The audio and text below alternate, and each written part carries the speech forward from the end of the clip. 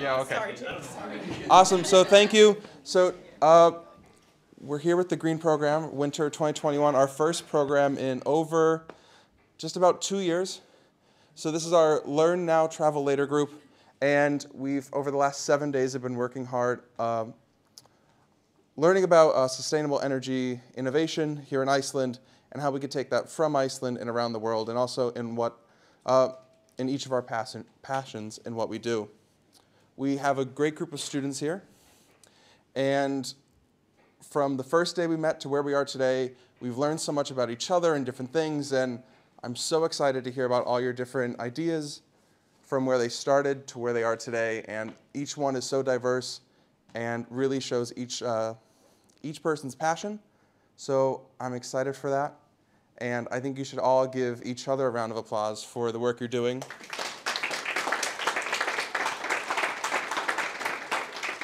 And I'm so excited to see uh, what you all do. So you'll give a 15 minute presentation for five minutes of questions.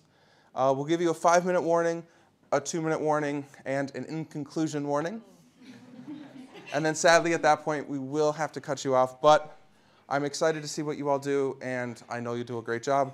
So one more round of applause, and you're good.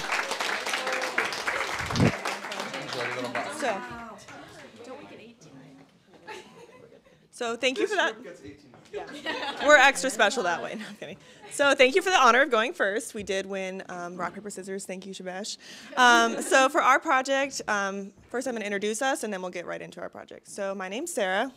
My name is Erin. My name is also Sarah. I'm Jess. I'm Shubesh. And I'm Neha. Yes, and our project is on community-based pollution, and we focused on ecological education. All right, so the basis of our project was to educate and empower local communities to learn more about the pollution going on in their community as well as how it affects them and the local species. Um, we specifically focused on um, the environment as well as animal and human species and um, the ecosystem as our area is a wet, in a wetland environment. Um, we specifically focused also on local methane pollution, which is the um, emission that we chose to focus our specific case study around. And then this pollution is coming from the Carville Energy Center, which is a power plant in um, Louisiana. Uh, in addition to that, we focused on the byproduct effect on the health and well-being of the community as a whole. So as I said, our community that we focused on was St. Gabriel, Louisiana, which is a small town along the Mississippi. Um, we centered our project out of a community center as just a basis of um, culture in the city, and a lot of people come in and out of there in, um, who are involved within the community. Um, so we partnered with local volunteers in the center, trusted um, educators in the community so we could have a more personal connection. And we also focused on schooling systems such as the local high schools, um, colleges, and as well as some elementary schools just to get um, the children of the future, or the children involved in the future of their community. We also brought in an aspect of science called citizen science, which is where an individual is able to go out and collect data on a wide scale, so anybody can go out and do it, and collect these um, emissions of methane. So we had sensors that detected um, methane and showed if it was above the legal limit. Um, and then we would use this um, uh, data from the methane uh, readers to analyze the data and then compile kind of a community um, database to show the, where the emissions are emissions excuse me are highest and where um, what communities are affected the most. So kind of a goal out of this was to affect policy and legislation in the local area as well as potentially in other communities um, to just change energy laws to be a little bit more sustainable.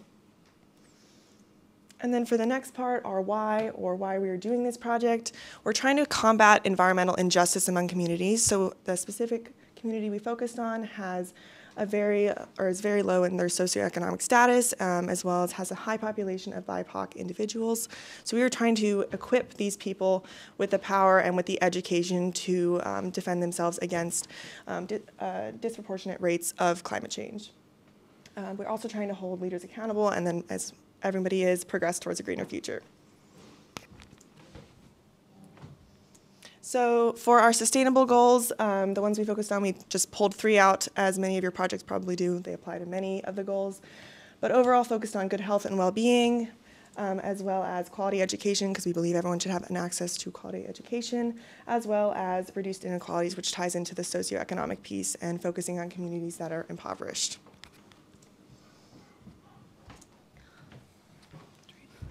So now a little bit on the why that we chose the St. Gabriel community in Louisiana. So just a bit of background, this town is actually located in a strip known as Cancer Alley. It's an 85 mile strip that runs from Baton Rouge, Louisiana to New Orleans, where there's been a history of intense, um, disproportionate environmental injustices caused from an, an, an, enormous amount of power plants in the areas. And then, in addition, um, there was a long history of coal in this region up until this specific natural gas power plant, the Carville Energy Center, came into fruition in 1998. And so, just a bit of the stacks, stats about about the town is that the local population is about 7,200, and more than half of that population is located within three miles of this power plant. In addition, the percentage of people living in low income um, is about 51%, and about 71%, so almost three quarters of the community, identifies as BIPOC. And then, as well, we also said that we are focusing specifically on methane. And we decided that mainly because with the rise in natural gas in the US, which has thankfully led to reduced carbon emissions from shutting down coal factories, this has also led to a lot of places having um, different kinds of methane leaks that have largely gone undetected in the US. And also, methane is a greenhouse gas that is incredibly potent in the atmosphere, but it does actually have the benefit of having a short lifespan in the atmosphere, which means that any work that we do, we will see immediate impacts um, in terms of environmental health and uh, well being for people as well. And then on the other side of things, outside of the methane um, detection and the natural gas and air pollution part, we're also focusing on the fact that this town has a really um, incredible wetland aspect to it. So, wetlands, as many people might know, are um, really crucial to biodiversity. They maintain the stability in the town through um, natural disaster mitigation, which is crucial, especially in Louisiana, which faces a ton of natural disaster risk. Um, in addition, they have water purification aspects and an enormous amount of fish, mammal, bird species that allow the ecosystem to thrive from its biodiversity.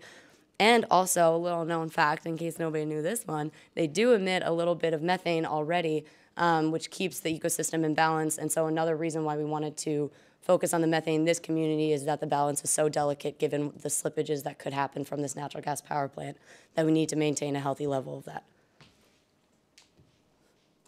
And then just for an overview so you guys get a bit of a, a sense and um, image of where we're talking about. So as you can see, the Mississippi River bends around here. This is the town of St. Gabriel. We have the Carville Energy Center on the bottom, and then St. Gabriel, uh, St. Gabriel Community Center at the very top, and then the elementary school uh, very in close proximity to the power plant. And the driving distance from the community center to the energy center is about 10 minutes, so very close in proximity. So, the type of intervention that we're looking to create would be a community education program within the community center in St. Gabriel. And the three main pillars that the education program would focus on first would be educating the citizens on the pollution in their local area. The second would be the local species and ecosystem services in their area and kind of to see how the two things are connected. And then finally, it would be a citizen science project where, if you don't know what that is, it's kind of just widespread data collection that anyone and everyone can do. So it's very effective in getting accurate results because it's just so large. And then the byproduct of that would be the citizens are able to see how the methane in their area not only affects their health, but the health of the ecosystem that they live in.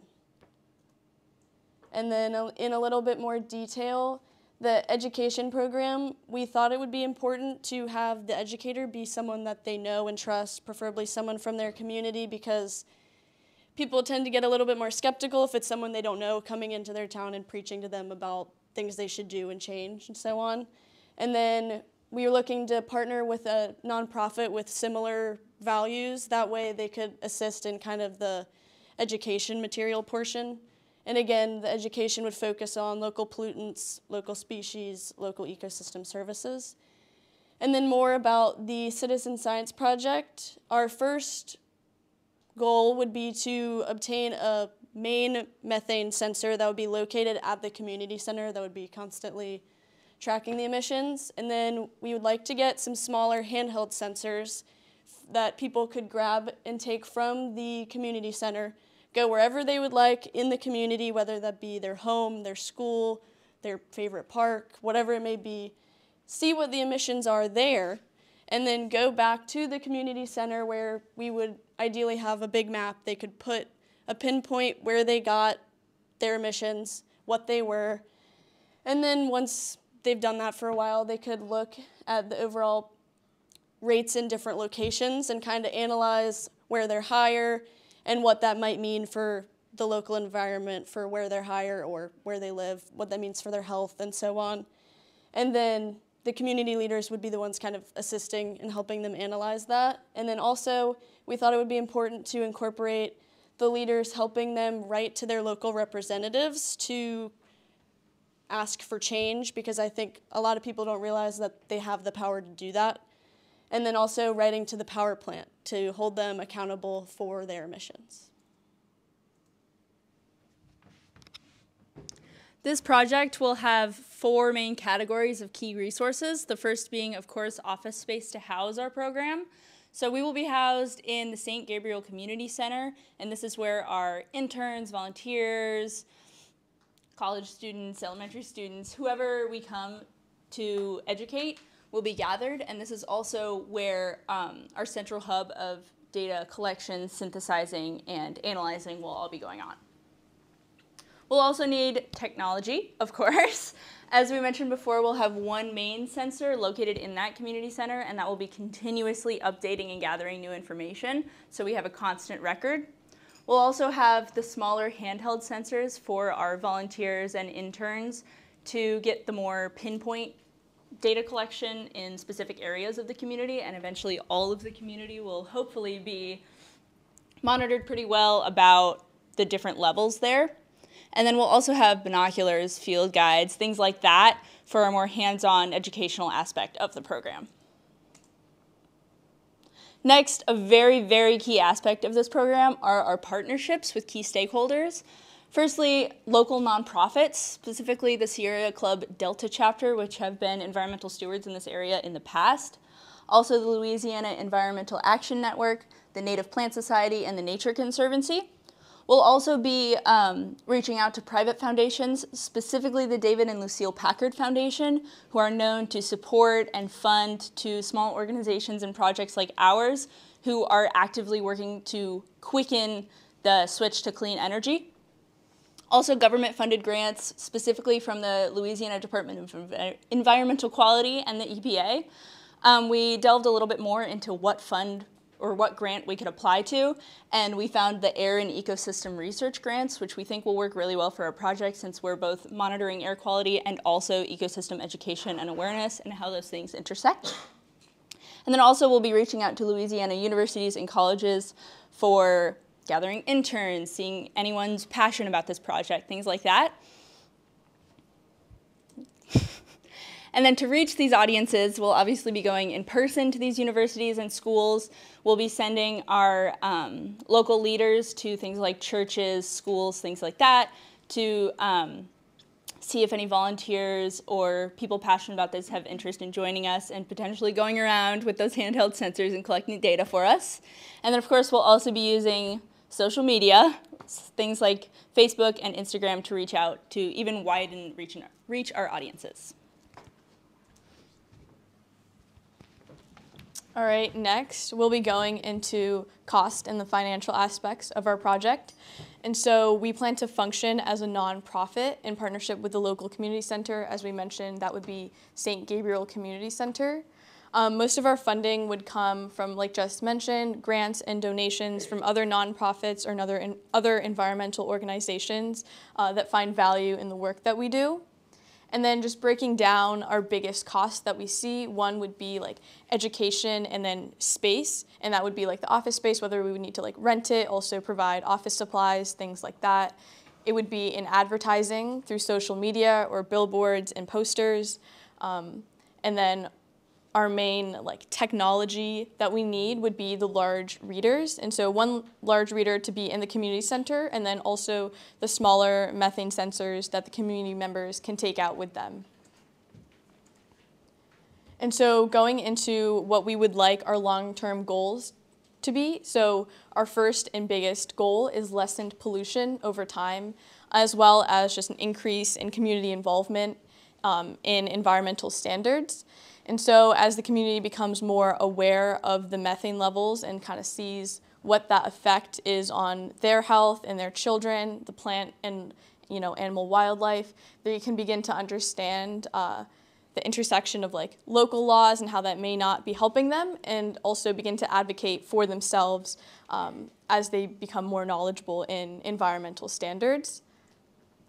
And then another big goal we have is reduced overall financial impact on larger systems like healthcare, government assistance programs.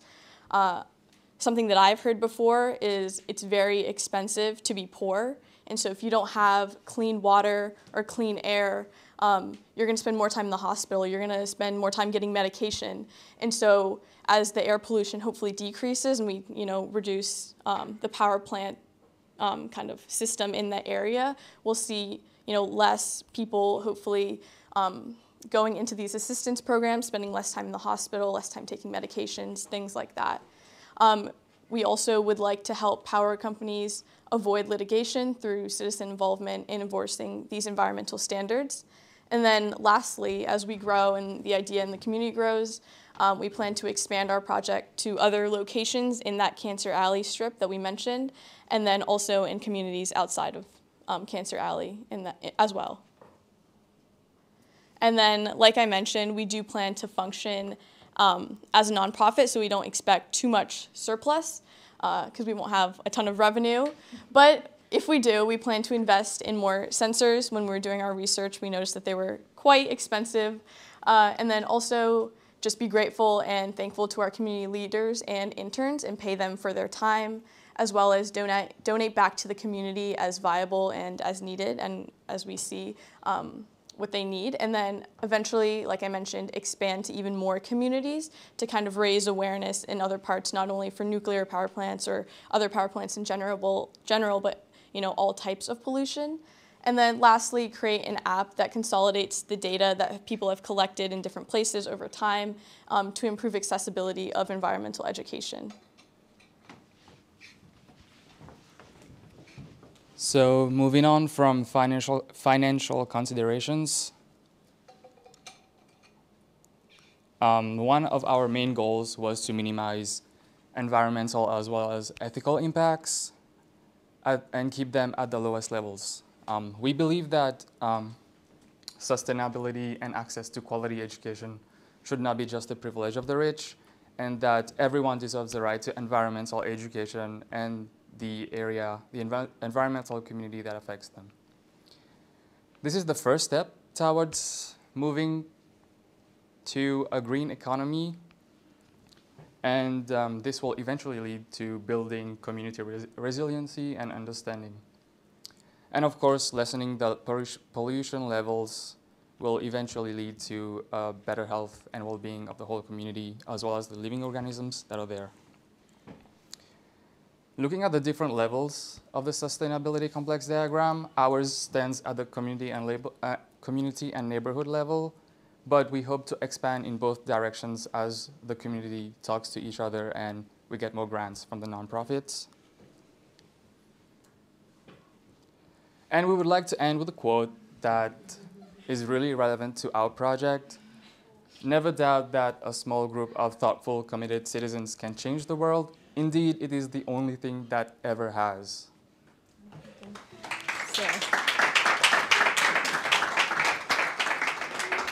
as we all know, we've never seen this quote before. No idea where it came from. But we did feel it was applicable as well. Um, thank you. We hope you guys are excited about our project as we are, and we're excited to see yours as well. So thanks.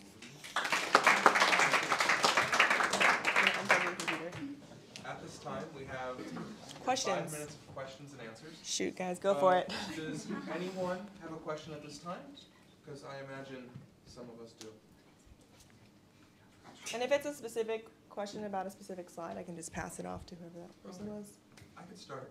Yeah, go for it. Oh, Johanna? There you go. Okay. what do you see as being your biggest challenge with this idea? As a group, you've worked, and each one of you has looked at different things, but collectively, what do you see as the biggest challenge uh, for implementing this idea in the community? Uh, personally, so this is not something we've we fleshed out challenges to our project in general, like legal issues, um, societal issues, but the biggest issue is just, I think, proving the efficacy of this project. So proving that it is important to educate yourself about your surroundings, proving that um, knowing about your community is important and that it does have an active effect on your life as well as your children's life. So I would say um, getting involvement in the project could be one of our biggest challenges. If anybody else has something they'd like to present, yeah, of course. I also think one of our main challenges would just be acquiring the sensors because they are very expensive and especially initially it would be difficult to get grants and stuff like that. Maybe once the project has moved forward a little bit, it would be more plausible to have several of them, but definitely right off the bat, it would be hard to have a lot of expensive sensors. Well, thank you. Is there any more? You're welcome. Joanna? Yeah, that was awesome, guys. Um, one thing I was wondering, just like clarifying, so when you're saying like having like one large sensor at the community center, like I'm just just wanted to clarify that's like, so reading like methane emissions and stuff, just like in like the closest proximity to the community center. I can take this one. Um, we were imagining it to be connected to the community center and just doing the surrounding area because it was a good vantage point based on the map of just being that 10 minute drive away from the power plant and a pretty central location in the community to get an average read. Um, and then also it would be connected to our map that would be updating in live time as it's connected to um, the sensor to show the concentrations at any given instant of um, what it looks like in the community at that time on average. So we wanted a central hub because we wanted to have the consistency aspect because the citizen science component is going to be not as frequent as the larger sensor that's taking it in in every millisecond. Yeah, no, because that was my main question with that. Yeah, I think um, our idea for that was, you know, like on the um, weather app, how you can scroll down and there's like an air quality thing that's constantly updating that's like air quality in your area. I think it's kind of like the same vision, like it would be updating like that to see like the methane levels. Then you wanted to add something? Yeah. Say in terms of specific location, an initial challenge we all ran into was we wanted to work directly with the power plants to get their emissions, but as we all know, if somebody is polluting the air, they're not going to want to tell you that they're polluting the air. So we thought about um, what actually happens when pollution occurs, which is smoke or um, gases come out of the power plant and into the community. So we realized technically anywhere in that surrounding area would be effective at collecting emissions. Other questions, anyone? Thank you.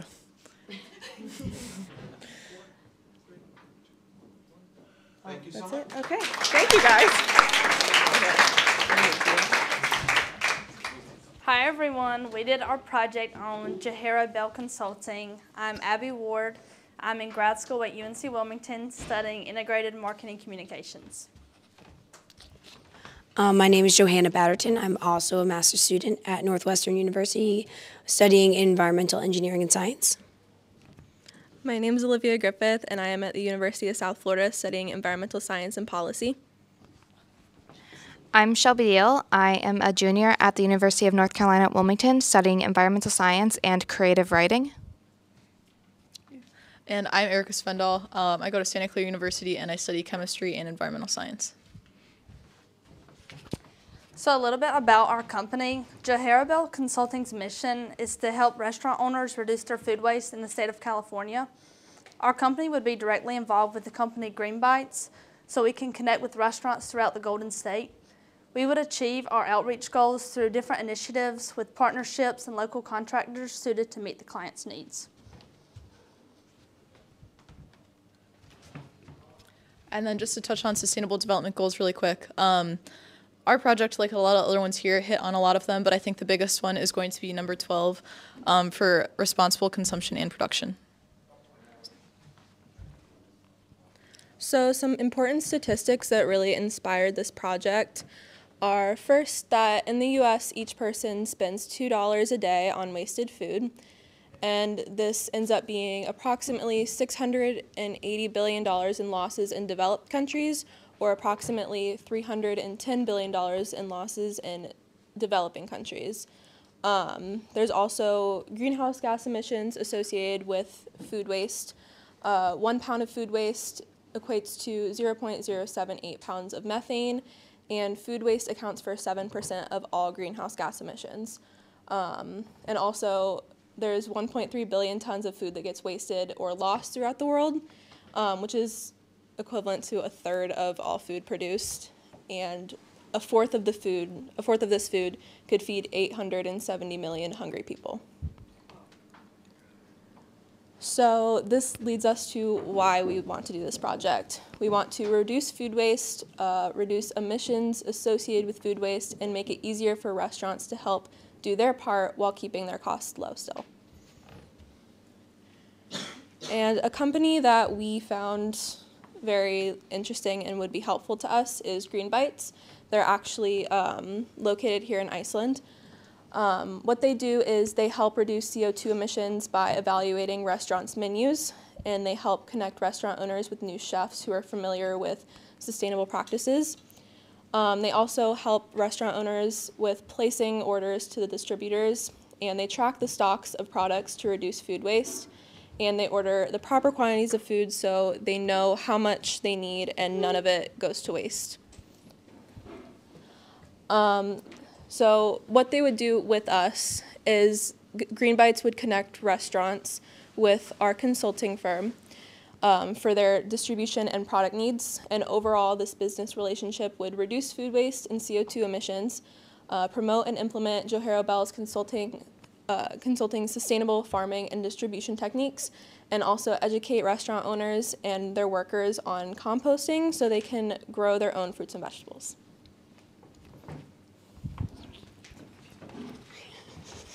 Yes, so in terms of finances for our consulting firm, um, uh, from the consumer side, the restaurants being our consumers in this case, um, we want to try to make this as simple and efficient of a process possible because it's already hard for a lot of environmental startups to get the ground going, so we want to make it as easy as possible so people actually take part. So we're kind of going to have like a one-time cost for our customer, and that's going to be because of our partnership with contractors, so that a restaurant doesn't have to come to us, um, pay us for our research and time, and then also have a separate contract and payment with a, con- with a contractor to construct the greenhouse.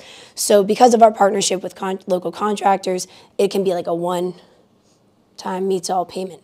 Um, and this will vary depending on the restaurant's needs, which will gauge the rest uh, the greenhouse size and costs. And so based off some research, we are thinking we could probably get a two to four dollar per square foot for greenhouse. So that will vary between um, each case scenario. And then for our personal costs in times of COVID, we thought let's go remote work, um, no rent for office space. Um, so we stay in a lot of contact with one another. But um, so then our main um, costs associated with Joharo Bell would be from just paying our workers as well as the cost of creating these partnerships with local contractors.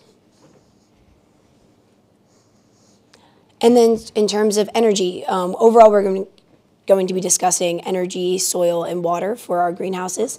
And so for energy, how we are going to be powering our greenhouses, um, one of the, our main focuses is we want to keep all this energy production predominantly on site. Because as we were learning from um, Iceland School of Energy, was that the further away this energy production is from the actual consumer, the more electricity you can lose along the way, less efficient energy, more money. And so to make it as costly and efficient as possible, um, we want to have like a baseline focus on geothermal energy being inspired here in Iceland and in the state of California. There's a good amount of potential for this geothermal energy to be used.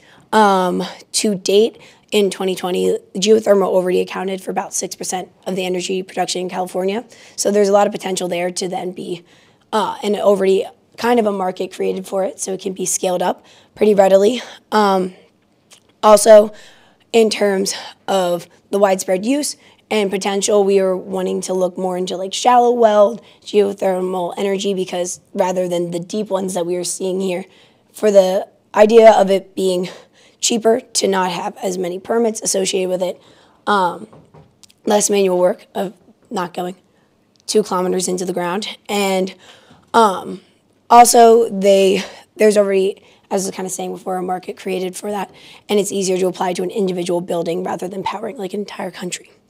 And we always want to have some backup energy, so depending on the location in the state, would be either using offshore wind, uh, solar, or hydroelectric for that backup energy. And in particular, if we're looking at one site in San Diego, we would definitely suggest for our restaurant to have that baseline geothermal, but do also be applying solar panels to the restaurant roof for backup energy.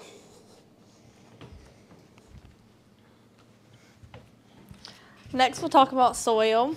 So we're going to encourage restaurants to turn their spool into soil, which means you don't. Clever, isn't it? which means using food scraps from the restaurant to turn into compost, which you can then use to grow more crops. We're going to partner with local sustainable soil distributors. And this is mainly because some restaurants, I mean, we're trying to reduce their waste, so they might not have enough compost to turn into soil. So we would obtain additional soil needed if enough cannot be made in-house through different partners. We're also going to utilize insects like we saw at the tomato farm, where they use bumblebees to pollinate their tomato plants, and we'll do that to fertilize our crops. And then overall, making our soil in-house and also purchasing it from sustainably made partners, it would reduce methane emissions, reduce the need for chemical fertilizers, enhance water retention, provide carbon sequestration, provide higher yields, so more food with less soil, save on costs that would usually be spent on the soil, and overall, just food being produced in a greenhouse allows you to control the environment no matter where you're located and no matter what your conditions are outside of the greenhouse.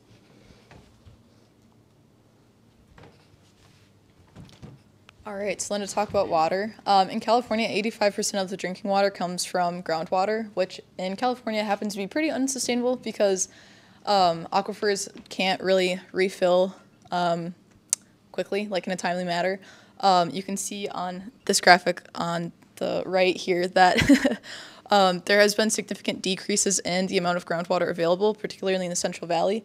The Central Valley is the most agriculturally productive um, region in California and also one of the most agriculturally productive regions in the United States. Um, a lot of food is grown there. And so specifically the San Joaquin Basin and the Tulare Basins um, are where most of that water is coming from. Um, you can see from 1960 to 2002, there has been a significant decrease um, in the amount of water available. Also, these blue sections on the graph here are wet years, while the white is dry, and you can just see how much like short dry span can like significantly um, decrease the amount of water available. So essentially, groundwater use is pretty unsustainable in California at the moment. Um, so as far as what our company will do is that we would want to consult with local water suppliers in order to learn about um, the local water resources for the restaurant and where the greenhouse would be in order to make it as sustainable as possible. Um, and in doing so, maybe we would want to chat about decentralized water, um, and particularly um, in California, it would make a lot of sense to do rainwater capture. Um, something that happens along the west coast of the United States is that we get these things called atmospheric rivers, where essentially it just dumps a bunch of rain for a couple of days. Um, and in the case of California, it might rain for a week, in December, and then it won't rain again until next December. So it's really crucial that we collect that rainwater um, for recycling purposes. Um, yeah, so a big thing that we'd want to emphasize is just recycling rainwater, gray water, and black water for use in both the restaurant and the greenhouse. And then to summarize our services, the main thing that we're going to be doing is doing thorough personalized research for each one of our restaurants in order to um, see where the best location for the greenhouse would be along with the energy, soil, and water resources. Um, we want to, yeah, um, source local and sustainable meat and dairy products. Because our focus has been on um, greenhouses, we haven't done um, as much research into meat and dairy, but we also want to make sure that those are sourced sustainably, so we would help them partner with local farmers. Um, we also would help facilitate contractor partnerships. Um, we would also look into local grant assistance. the Sustainable Water boards in California, as well as the Department of Water Resources, always has a lot of grants going on. Um, they just want ideas. They're super ready and willing to fund all of them. Yeah, and so we would help them write those grants and that kind of thing as well. And then in the future, we would like to expand to livestock and then also other states and eventually the world. And of course, advertising is going to be a very important part of getting out Jahara Bell, what we do, and getting those partnerships. So, of course, what's important is knowing our ideal audience and targets, that being business owners seeking to diminish their food waste and or are aiming to reduce their ecological footprint, but are encountering barriers preventing them from doing so. So some methods of approach we can use for advertising include referrals from our partner companies like GreenBytes, um, doing business proposal emails, paid advertising, social media like Instagram, Twitter, LinkedIn, um, and doing regular newsletters and emails as well.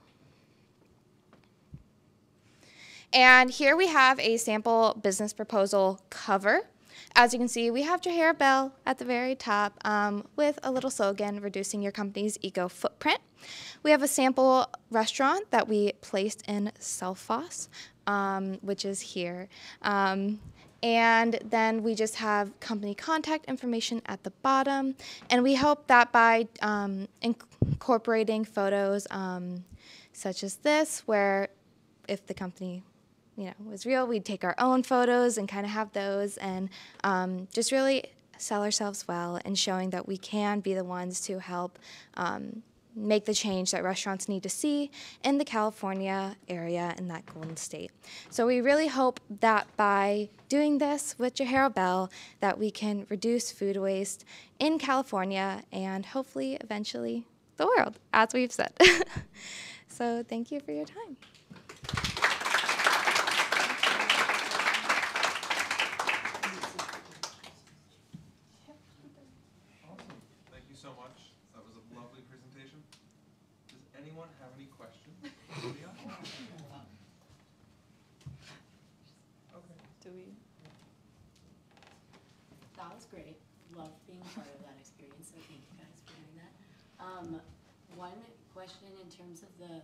Process. Um, like if you're hit the ground running and you're in the stage that you want to be in and you're working with a local restaurant, are you going to be trying to, in terms of like how you would envision collecting the food waste, would it be like you're coming into the restaurant at the end of the day or you're like having somebody as a consultant working in the restaurant at the same time to like collect all the food and monitor that it's actually being put in the right places, because I feel like there's definitely a time component with the food waste, so that it is actually able to be, um, used in a proper way too.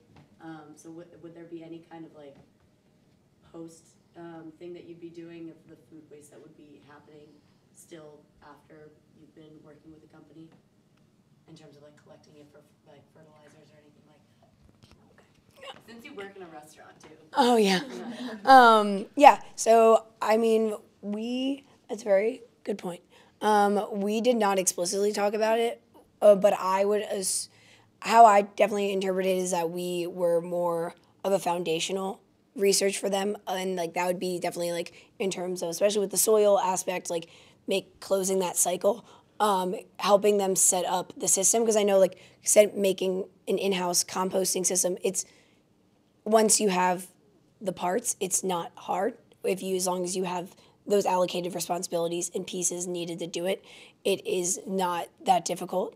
Um, so I, but I, so I don't see us like staying and like leaving a member of our team like associated with each restaurant, more making sure that they have the tools to set up those systems and um, function together. Got it, so more of the front end. Yeah. Not as much, got it. Yeah. I have a much more specific question. What's Blackwater?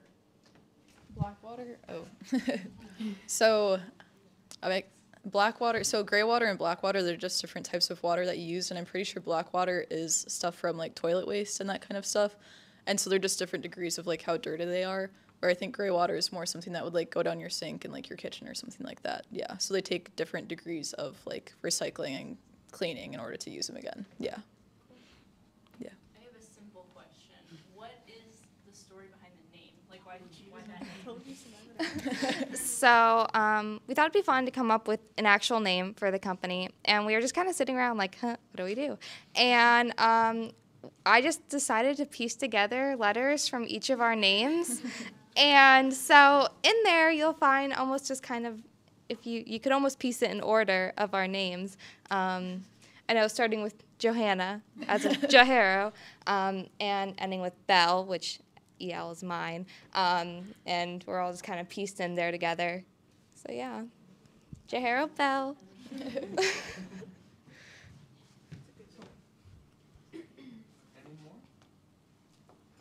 Okay.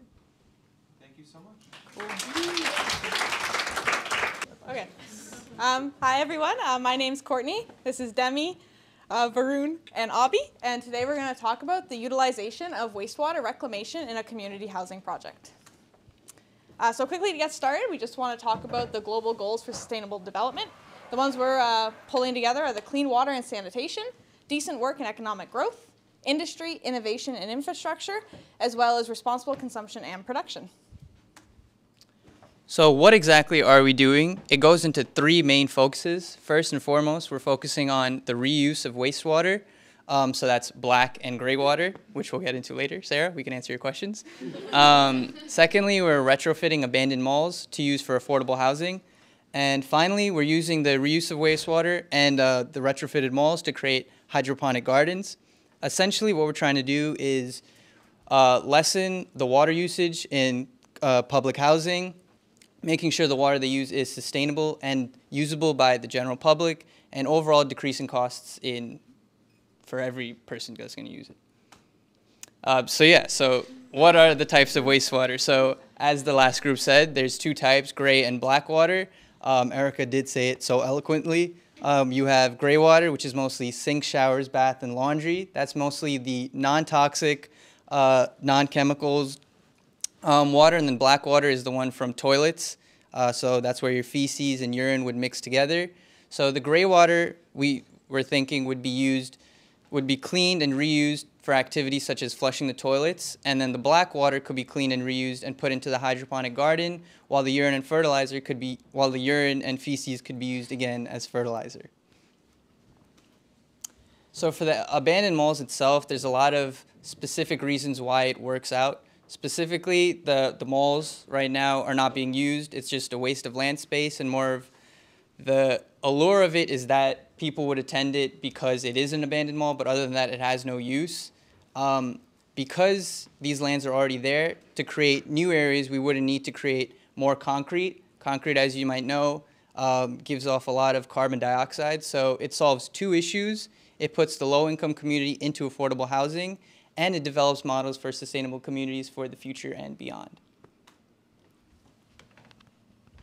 Okay, and so the hydroponic garden system, the main focus of it was to utilize the excess black and gray water from the uh, treatment process we're installing.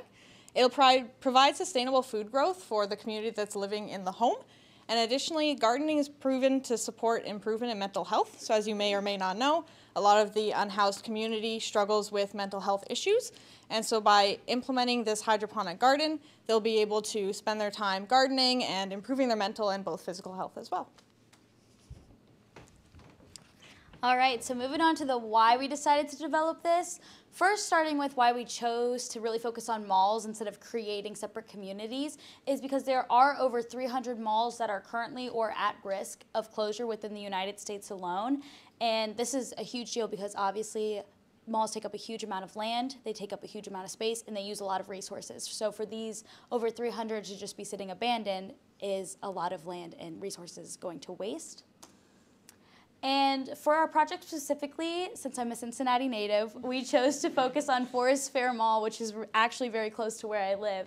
It is what was once the second largest mall in Ohio. It's a massive space, but it is currently 95% empty and has like one or two shops actually operating. Yet the mall remains open with 250 store slots um, and 1.5 million square feet of space. And the most it's being used for currently is Amazon car parking lots. And I personally believe that all of this space, as you can see in these pictures, could very much be repurposed and reutilized and used for things such as affordable housing.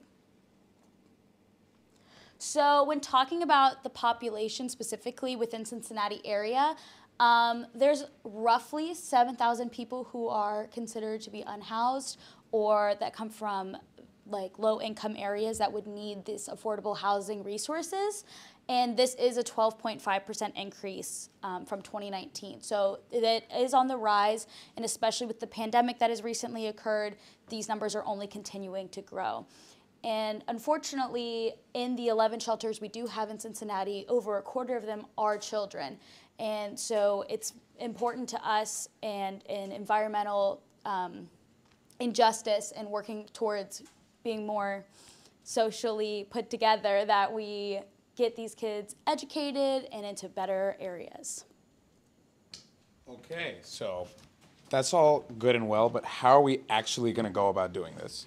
Right? So, gray water, right? Uh, as Erica put it, it's just non toxic, regular sink, dishwasher, laundry, etc.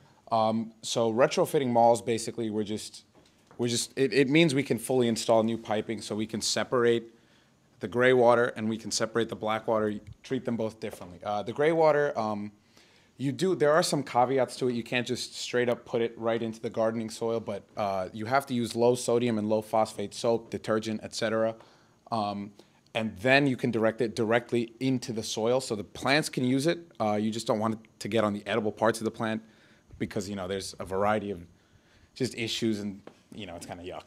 Um, it can be used to flush toilets and also in um, just laundry, just reuse like that.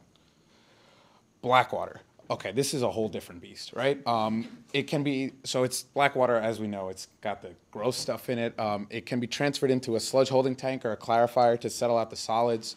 Um, the clarified liquid, that I'll go further into detail, but basically it'll be transferred into, uh, just with the gray water into the soil. Uh, the settled sludge, it can stay for a month to kill pathogens, and then, uh, as Abby put it, we turn the spoil into soil. Um, with the black, with the clarified liquid, we'd add coagulants to the liquid um, prior to clarification, just so that, you know, solids coagulate, they settle out, and then the clarified liquid is even cleaner than if we didn't use coagulants. Um, currently, aluminum sulfate is the most common coagulant. Um, you know, it's obviously sulfate. People get worried, like, oh, if it goes in water, will you make sulfuric acid? Like, yes, but nobody's sticking their hand into like a bucket of black water, so please don't do that. Um, the settling time for particles, clearly it depends on particle size. Uh, it can range from seconds to hours, years. Um, typically the, the, the, ones that take years are obviously a lot smaller, but these are things that plants can use um, as forms of nutrition. So we will be focusing on just like about a two hour settling time to get those things on the bottom, um, and then everything else can be used. Uh, cost breakdown, right. So the renovation of the pre-existing pipes, obviously, um, in terms of construction stuff, it'll be a little more than this, but just for the gray water pipe system right now, it'll, it'll range from about 800 to $4,000. Um, in terms of construction, renovating the mall uh, into living areas, that'll be anywhere from 40,000 to 200,000 um, regarding how much, uh, depending on how much is being changed. A new wastewater treatment system is essentially just coagulant chemicals and clarifying tank, which is about $1,500, uh, and then the hydroponic system, which is actually pretty cheap. It's about $300 to $1,000. Um, so when we were developing this project, we thought there's a few uh, challenges that could be faced, and so this was the main challenge we think will be improving the public perception. So for example, uh, use of wastewater for crops. A lot of people currently are very uncomfortable with the idea of using, um, you know, consuming crops that are from I guess, new built or grown from their own waste. Um, and so what we think that we can do is educating them on actually what fertilizer is as a whole, and then hopefully they'll be able to be better um, or be more ready to, to consume that food. And the second thing is affordable housing community being so close to the people of Fairfield. Uh, historically, there have been issues with affordable housing and people's perception of those types of people that are in those housing. And people are generally a little bit uncomfortable with that. So our thought is potentially providing uh, community events where both the residents of our uh, community housing as well as residents within the community of Fairfield can come and they can kind of meet each other face to face and then you have a bit more of a personal connection with these people instead of just seeing them as some kind of statistic. Okay, so looking into more specific organizations within Cincinnati that we believe we could kind of get on board with us since like said earlier, getting grants from the government and other funding such as that is wishy-washy and unpredictable. So we would rely heavily upon the nonprofit organizations in the area. Um, the two that I wanted to focus on specifically were for the humanities, Matthew 25 Ministries. They do an excellent job of providing for those who have been in disastrous situations, and um, as well as environmental groups such as Green Umbrella, who are awesome for getting the community involved with environmental sustainability. Okay, so just we're just gonna run through this really quickly. I'm sure you guys can uh, read this, um, but the key key resources we'd need um, is just you know clearly an abandoned mall. Um, we need contractors to complete the work, uh, a hydroponic system, and then just a gray water recycling system. Those are the bare bones of that. Yeah, I mean, we speci- we went through a lot of it, but specifically for segments and value propositions.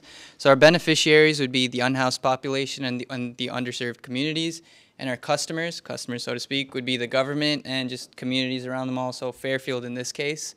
Uh, so the value propositions for the beneficiaries will be developing jobs by allowing these underserved and unhoused population to help build these malls if they should if they should so choose to do so.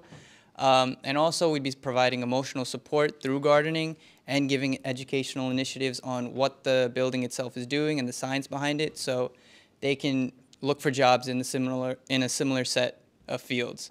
Um, for customers, so for the government and the communities, we'd be repurposing wasted opportunities for land and also we'd be developing a model for other buildings to follow um, for reused wastewater on the residential scales should other communities try to adopt it as well.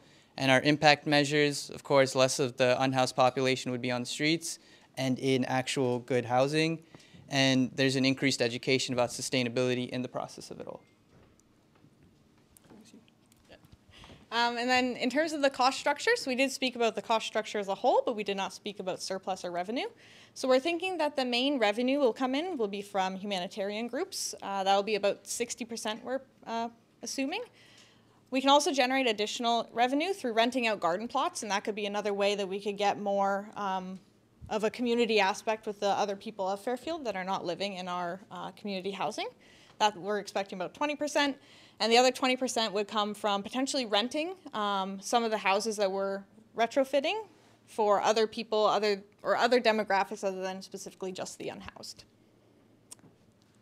And that's all we have. So, yeah.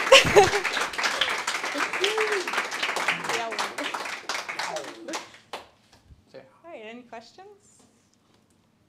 Go, Jake? Uh, I know you talked about revenue, but um, in terms of, since it's such like a big scale project, um, what about uh, initial revenue to start off with, since you need to do so much work at the beginning? Um, that is one of our biggest setbacks is getting the um, upfront funds for it. But that's kind of where these nonprofit organizations and hopefully government grants would kind of come into play. It would take some like campaigning, obviously, for it and getting the word around. Um, so that's where we were kind of relying on it. But as you said, it is large costs. So that's kind of up in the air for now. Yeah, and I can add a little bit more. I mean, I think also it is a long-term process, so we could start with educational initiatives more than anything. Um, like we could have us, we could have other people who are more well knowledgeable about this. I'd say like people who have worked on some of these systems their whole life. We can have them give talks, give seminars, start off slowly, and then develop like a, a foundation where people are like more excited to do this. And by that time, I'm assuming we'd have a group and then work from there. Yeah.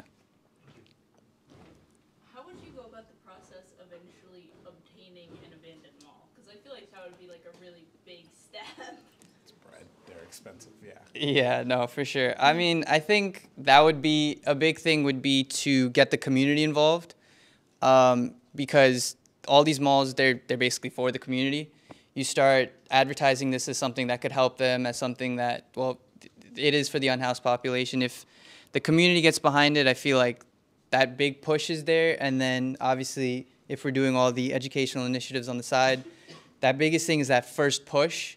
Um, but just fundraising and all that stuff around it and getting the backing um, would be able to help tell the government like hey this is something we're doing whoever's owning these abandoned malls i think it was uh, some mills some some something some company but um, if, if it's like if there's enough backing behind it, I think that would be enough to sway certain people to get bigger companies involved to try to buy off the mall. Yeah, for sure. I just wanted to add a clarifying question. Are you, are you, sup- are you proposing to purchase the abandoned malls, or are you assuming the owner is going to get on board? That's that's a big question we have. Obviously, you know, we'd like to get the uh, government involved, um, but we don't want to have the government pay out the entire cost of a mall. So we were thinking maybe like, like there is, um, where was it? Like Courtney said, we can we can definitely rent. I don't know if you want to go into detail about that, but you know, renting would be a would be an option. But um, right now, yeah, that's like getting the access to the uh, the mall itself is one of the biggest uh, setbacks, like Demi said. But to add on to what Jessica you were gonna say is, um, actually just like a, an anecdote from my own life is uh, there was a, an abandoned mall, maybe like 20 minutes from my house, and nobody liked it. That thing was so ugly, and like people people just got like really riled up about it because they were gonna just they weren't gonna touch it. They were gonna like abandon the land, stuff like that. And then people were like, no, just you know renovate the mall, just make it look pretty again, make people want to go there.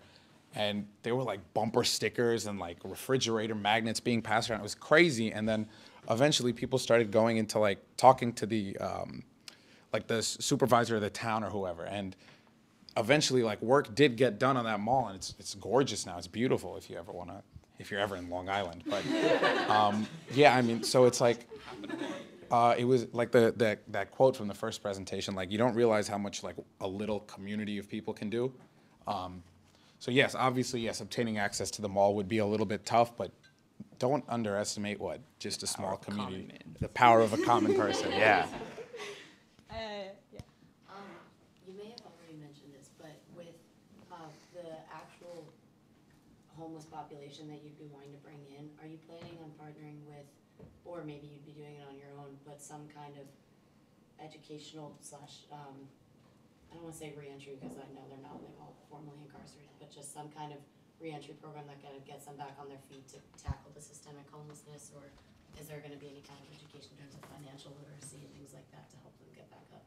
Yeah, so absolutely. I think a lot of the part, we didn't want to go too into it in our presentation, but a lot of the purpose of having such a big space and using this as a community and getting those specific organizations involved is to kind of help with the reintegration for those who were struggling with that, kind of get people on their feet, help, because a lot of the issues, especially in the shelters as well, is it's unsafe.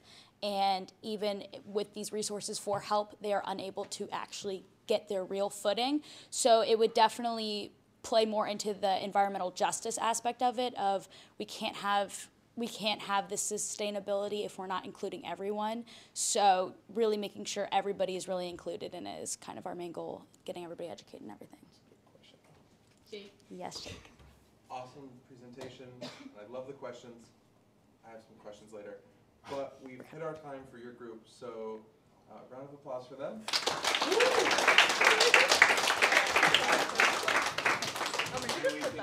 Okay, truck platooning.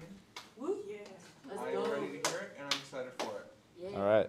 Well, thank you very much. Um, okay, so today, uh, Susanna, Tyler, and myself will be talking about our capstone project.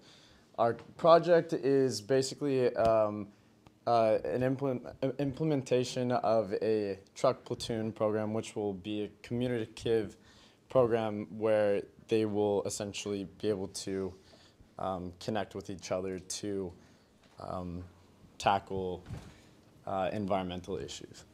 Yeah, so the two main points we're trying to address here are um, are improvement to the log- logistics systems for transport of goods over long distances, and secondly, the climate crisis by basically reducing energy consumption of the vehicles that are taking part in the logistics. Yeah. Did it move? Yeah, what she just said is our problem. Semi trucks take up large amounts of space on roads, sometimes multiple lanes, and they are, because they're the largest vehicles, they use up the most fuel. So we think trucks traveling closer together will use less fuel and road space than those normally driving farther apart. So if we could create technology that forces trucks to brake and accelerate at the same rate, they would able be able to travel closer together in larger groups, hence truck platooning.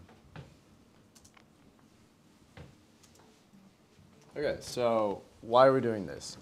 Um, our main, I guess one of the main uh, issues that we identified was that uh, fuel efficiency with, with trucks are obviously very bad. So, um, sorry, we'll kind of go in between the imperial system and the metric system here, but uh, so uh, we, we saw from research that uh, a space of between three to 10 meters uh, equates to, um, I guess, with a, a, more aerodynamic system of putting these trucks closer together equates to uh, fuel saving of 8 to 11%, which is quite significant.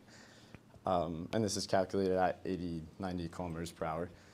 Um, this would also, we kind of thought that this would additionally reduce traffic for all road users. If you have a system that uh, combines all these trucks versus, you know, various trucks that are, you know, driving around. I know it's kind of annoying to get around trucks.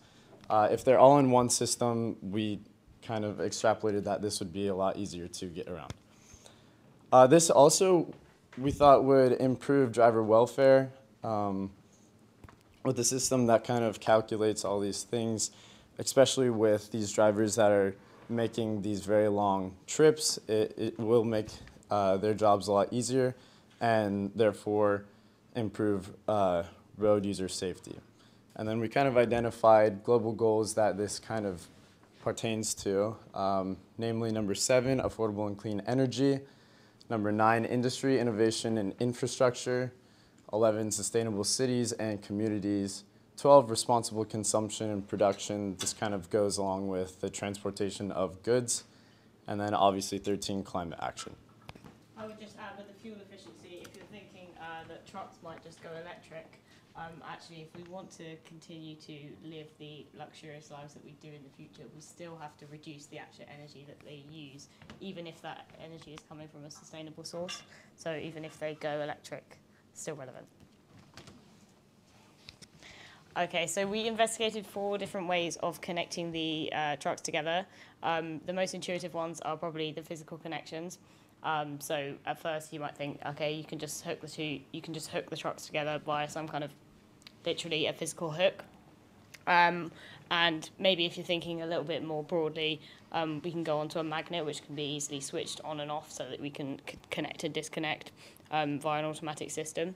Uh, but both of these uh, systems have kind of uh, problems in that physical bar in between the trucks doesn't allow anybody to go between. So that might be a motorcyclist or just a small car um, or even a pedestrian because, you know, you never know. Um, even though this is meant for highways, there are always emergencies. There might be something in the middle of the road, whatever. Um, and also, it's the disconnection and connection is is difficult, um, and they can't if you're using a physical connector, you can't um, you can't change the distance between the trucks very easily. You know, you're fixed at this distance that you've set the you know this bar to or the size of the hook. So basically, we're going to go onto a contactless connection system. We thought about two ideas. First of all, GPS, which uses a satellite tracking system, um, which, um, as you probably know from Google Maps on your phone, puts you in a place on a road. But it's not always very accurate, as you probably all know. Um, the tolerance is about a few meters, which is not accurate enough for our purposes. And also, um, it might not work if you go into a tunnel, go under a bridge, even a tree. They're all um, issues in the way. So we basically are going to settle on Bluetooth as the connection system. We know that it's wireless. We can easily connect and disconnect. It's accurate. Um, and we don't have the barriers. Uh, it doesn't care whether there's a um, a tunnel or anything in the way because we're just going truck to truck rather than to a satellite and back. So um, yeah, so we're concluding that Bluetooth is the way to go. Um, if you're going to research this project further, actually implement it, the key points that we'd have to go into is obviously a big new software system. Um, we need to investigate whether trucks that exist on the roads already have Bluetooth enabled already. I've never driven a lorry, these guys haven't either. Um, obviously, a lot of modern cars do have all this Bluetooth stuff already, but actually, a lot of trucks that are on the roads, especially in Europe, I don't know about the US, are still pretty old school with what they've got in front of them. So if they don't actually already have this technology, we might need an extra system that needs to be connected. We need to work out how that's going to work. Um, we need to educate the general public on what a platoon is, how to get around it, and we need to educate the drivers themselves, which might be via financial incentives to driving companies or advertisements to a drivers' union. So, for example, I think the URTU is one in the UK with about 14,000 members. Um, and then emergency procedures. So, if there is an issue, uh, what do we do to exit the pl platoon, um, stop it, disconnect it? Yeah. And then just separate point about radar. Um, so we've talked about the Bluetooth, which is the way that um, the trucks are going to connect to tell each other, I am braking now, you need to brake too, or I'm accelerating, you need to accelerate too. But radar is a separate system that will need to be used for each truck to identify how far away it is from the one that's in front. So it needs to see, so say it's set via some kind of system that has seen the weather and the stopping distance, etc. Um, that it's a certain distance away. So you know, it's set, I need to be 30 meters away at all times. The radar is what, you know, uh, regulates that. Yeah. Um, just a bit of maths to prove the point. Um, so this is a system without um, platooning. So you've got to uh, drive far enough away from the guy in front so that um, you can perceive the, um, in an emergency, you can perceive, perceive the thing that's gone wrong. Then you can react, i.e. push your foot on the brake, and then you've got a braking distance. If we eliminate the perception reaction time, which we've researched is 1.5 seconds, uh, then we can uh, basically uh, reduce that distance quite significantly so that only got the time it takes for the Bluetooth to connect, which we're taking is about zero. So if we assume the truck's traveling at 90 kilometers per hour, which is 25 meters per second, uh, the perception reaction distance, i.e. speed times time, is 37 and a half meters. Um, we've said this Bluetooth distance is about zero and uh, the braking distance is about 80 meters. So we've reduced the um, stopping distance from 117.5 meters to 80 meters.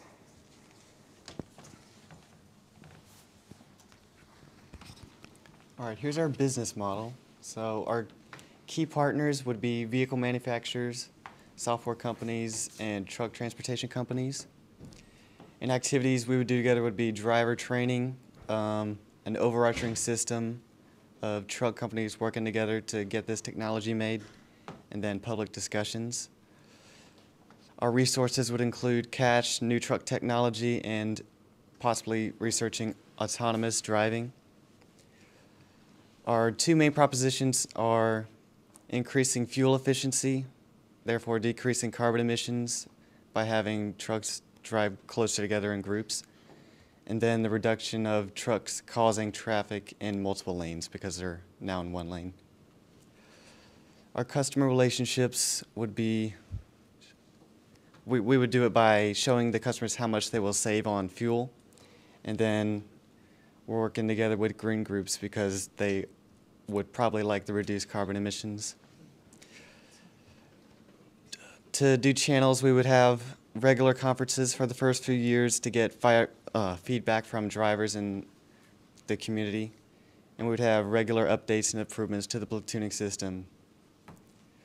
Our, and then these customers would include major retail companies, transport companies, environmental agencies, national and state governments, and then drivers unions. Our uh, costs we put into two sections, so fixed and variable. So fixed costs would be however much it costs to fit the truck with the GPS and short, short range communication technology, and then the initial public education and advertising. And our variable costs would be the training, which could go up as the project is scaled up, because more and more drivers, drivers will need this training. And then the incentives for drivers to train may end up costing a lot more money. And the technological advancement and further research will, will require increased funding but our profit, we would get it from these major transport companies and government bodies who choose to buy into the new technology. And these companies may sponsor their own drivers to take part in our training, and we can use this revenue to make more advertisements on other people's trucks and trailers. And we can also reinvest into further research and data collection to assess how successful our scheme is. All right, so with all that said and done, obviously we do have some issues with um, our project. Uh, with the um, looking at you know a road map, you'll obviously have areas where there are single lane highways, um, and as we all um, can probably attest to, it's really annoying to have to get around trucks. Um, and so if we were to have a platoon of trucks, imagine getting around like eight trucks, which would be impossible. Um, that being said, we would probably disable this um, platoon feature for single um, lane highways so that this would not be an issue anymore. Uh, this would definitely worsen accidents if, uh, in the case that something were to happen, with the addition of multiple uh, semis uh, being banded together. That's just that much more inertia. Um, a lot more energy is put into a car accident, which could be very bad. Um, this could also uh, introduce unforeseen traffic issues. We wouldn't really be able to tell you until this is actually put into test in the real world. Um, same with uh, or variability in weather. Um, things like uh, rain would obviously affect the calculation of braking. Yeah, so they'd have to travel further apart in Yes, rain conditions yeah. and all software needs to take that into account. Yeah. And then um, obviously, if in the case that there were system failure, where our technology were to, um, you know, there would be a disconnection or something like that, uh, this could obviously result in an accident if not all of the drivers are completely aware of it. Actually. Okay, so uh, that being said, so we're going to move on to what could be next with our project, what we see for the future of this. Um, we could certainly implement this technology into autonomous vehicles. Au- autonomous vehicles are becoming obviously more and more popular um, with more research done on them. And uh, incorporating that with smart electric vehicles, um, that would be able to uh, integrate that braking system into the car versus a uh, physical um, arm that were to be uh, accelerating or decelerating. Um, we also thought of the uh, possibility of a modular car that would physically attach to itself, um, at, uh, much like a train would, and then um, that would just help with calculations of momentum. And then uh, furthering that would be developing an app where all compatible, uh, compatible vehicles would be able to uh, locate all of the uh, you know trucks uh, that you'd be able to join uh, in a platoon, and then you'd be able to within that app just customize um, you know user input with brake, weight of your car, truck length, weather, etc. So that would further optimize. So uh, thank you for listening to our presentation and uh, open the floor for questions. Yeah. I just want to say, uh, I just want to say before we start the questions here, from where this group was when we all had that group share of ideas, from all the questions that you received, Susanna, to where you are now with this project and answering all of those questions and having this fully developed and you had the math in there and everything, I'm proud of you and congratulations.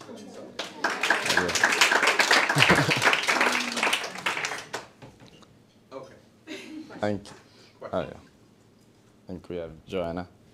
Yeah, awesome guys. Um, one thing, so we're talking about especially like how single lane highways would be a problem, but like in like two plus lane um, highway systems, were you all thinking that um, it would be there's like a designated and wherever you make agreements with, I guess it'd be like whoever's in charge of highways, um, like that, like this like left most or rightmost lane is like a designated lane for this, or is it like a wherever one starts and they start connecting, just like that's the lane they're in, or it was, or you think designation? I would say they're always going to travel. They would always travel in the slowest lane, but it's not going to be full of trucks. Um, usually, when you're driving on the motorway, there's not trucks everywhere. Um, you know, if you see a truck normally every 30 seconds, those eight trucks that you saw over a four minute period would all be squashed into one thing. And the rest of the four minutes, you basically won't see any trucks because they're all together. So you hope that the slow lane will still be able to be used by normal drivers. I mean, to Other question, question? but- Yeah. Yeah, so the, the Bluetooth connection, that would just be like, I'm assuming like a module on the Mhm. dashboard of the car? Mhm. Or sorry, truck, uh, would that be like dangerous to operate? I'm assuming it would just be like press a button to connect, press a button to disconnect? And how would you install that software or hardware into the truck? Um, well, we didn't necessarily talk about that within our group, but we, I mean, yes, this would be something that you could essentially, you know, be on your app, find your local platoon, kind of time it. I mean, obviously, you can see on the motorway, you, you can see, you know, where trucks are if they're especially combined. Um, and then with like proximity, you'd be able to connect via Bluetooth. Um, and I don't know, it, you know, there's um, the suction cup, you know, things on, on your car where you put your phone up there. So it could be a modular system just like that. Okay, you don't, you don't think that operating a gigantic vehicle while also trying to connect to a, a? Um, I'd add potentially um, if this get, gets you know far enough and we get enough funding from government bodies and stuff. I'd say at each entry and exit to the motorway, you basically would have a, some kind of bridge or a little sensor that the um, truck goes underneath, and it sees that. And there's some system that says you're at junction 43, and there's a platoon 50 meters ahead of you, so that it goes on and already knows. Oh, okay, I see, all right, that's fine, thank you. Um, yeah. Oh. Um, so you guys mentioned a lot about education, so you could already have this in there. So you mentioned about like talking about emergency procedures, how to operate the system and all that stuff. Um, have you thought about, um, how to deal with like community backlash? Cause unfortunately for your first, your first like presentation, you guys had a lot of questions that were, um, concerned about the safety and I'm not, I believe this is a safe system, but even with electric cars, people were like, well, that's dangerous. I need to be in control of my car and like similar things. Are you gonna like kind of piggyback off of that movement? So like moving towards electric cars and moving towards like um, things that aren't automated or controlled by humans, or or did you have a plan? If not, it's okay because again, that's pretty deep. So. So, when it comes to autonomous driving, I don't think we're there yet. So, we would start off with the real drivers, with mixed with the autonomous stuff. But then, um, like to get people on board, you have to show them what like how it works. Make YouTube videos. Make um, Make it part of the driving test that you have to take. yeah. Um, So just like overall educate about the system, show that it does work, and then Mhm. people will be more.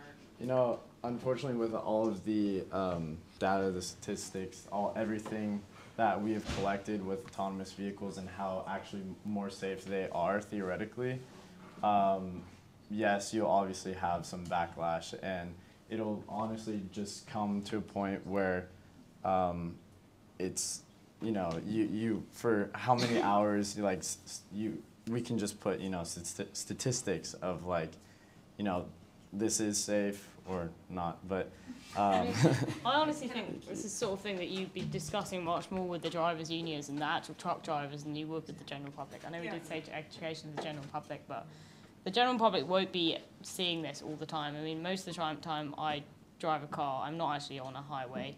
Um, and if I am, and I see a few trucks, I wouldn't necessarily notice they're part of a platoon. It just looks like eight trucks in a row. And then you just carry on with your life. So I think, I don't know, I don't talk to truck drivers that often. So I don't know. I mean, maybe it's just maybe it's just my perception. I'm not sure as a normal road user you would even notice it that much. Um, but maybe that's wrong. Like you say, it's something that you have to kind of see what happens and then react to. Yeah, and I'm not saying it's gonna like it's gonna be something that's a huge issue. I just was curious because I Mhm. mean, it- with anything you get backlash, so like you can't only count on your negative opinions. to Yeah. succeed, yeah. And this isn't really a question, it's, it's more of a, my take on your question, is exactly what you just said. It's not so much selling it to the public. I think the, the way the trucking industry works, the dispatchers and the companies that are responsible for the drivers and the actual transport of the goods are actually going to be really receptive to something like this because how you first pitched it, it's increased fuel efficiency. They get there safer, faster, less fuel being spent. It's Mm. more money in everybody's pocket. Yeah. And it's a technology that I think they would be far readier to integrate, especially through some of the add-ons you just gave, like how they, how those sensors are, could really already be integrated into like the sca- the weight scaling systems and everything that they are already passing through. I think, I think the trucking industry would be very receptive to an idea like this. Love your points. There's so, I don't know, there's so many things that are there, like even the things you notice in your car, a lot of the things you may see as add-ons are part of regulations that are Mhm. required and are to come. Yeah. And this is a great thing, if you all want to read, a great infrastructure bill for the US about things. Uh, there's millions of dollars for it there. Exactly. Uh, on that note, one round of applause again for this group. Hello, everyone. My name is Kevin. This is Sam and Melissa and Marley, and we're going to be presenting our idea called Southeast Wind, which is providing wind energy solutions uh, specifically for New Hanover County in North Carolina. So, first, just to go over the problem, the bigger problem that we are seeking to address is the fact that the southeastern U.S. has not taken advantage of its full wind energy potential. Um, they've fallen behind other regions of the U.S. in terms of transitioning to clean and renewable energy. Um, besides the fact that a transition to clean energy will reduce the negative impacts of climate change, a transition to renewable energy will create a more sustainable infrastructure that future generations can also rely on. There are some barriers to implementing wind energy, such as dealing with the inevitable hurricanes that exist in the southeast region, uh, but wind turbines can now withstand uh, Category 4 hurricane wind speeds and um, continue to grow in power capacity as well. A few years ago, the average onshore wind turbine was rated at two and a half to three megawatts, and that could produce an, e- a more than six million kilowatt hours every year. So, for perspective, if just two wind turbines were built on each of the 59 farms that exist in New Hanover County, that could produce, say, now in 2021, now that they have more power capacity, uh, 10 million kilowatt hours every year. This has the potential to produce a total of over 1 billion kilowatt hours annually, or roughly the equivalent amount of energy required to power the 114,830 homes, 839 homes in New Hanover County. Um, so the technology is there. The bigger obstacle to overcome is the bad perceptions of wind energy that exist. So, for instance, the Council of New Hanover County recently unanimously voted that offshore wind turbines would need to be at least 24 nautical miles off the coast, and also held that none were built, uh, that none should be built that are visible from the town. So, just to talk about our what, how, and why. Um, to combat this issue, we propose a nonprofit that provides wind energy info to farmers and connects, connects them to power companies for wind turbine installation. The way we will be doing this work is through community outreach at local events like farm, farmers markets where we can interact with farmers face to face in a public setting as opposed to you know going to their property and um, you know doing solicitation which is probably not the best method. Um, in order to form partnerships with power companies, we will reach out to them under the premise that we'd be helping them meet the um, state's regulations for um, generating renewable energy. Uh, for example, North Carolina House Bill 951 mandates 70% decarbonization by the next decade, um, and we would be finding them new places to build power generation where the people that they would have to be getting the permission from are already open to that idea. Um, so we're trying to, you know, be the bridge. Um, we specifically wanted to start our organization's work in New Hanover County, North Carolina, because our group has personal ties to the area, and so we're familiar with local events and the entities that we would need to be interfacing with. Uh, we see this as our small effort that is a part of the bigger effort to bringing wind energy to the South as part of the transition to clean and renewable energy from traditional generation from coal. If we convince farmers that wind energy can be really beneficial, this will create a constituency that will spread this better perception of wind energy and will sort of enable that path forward.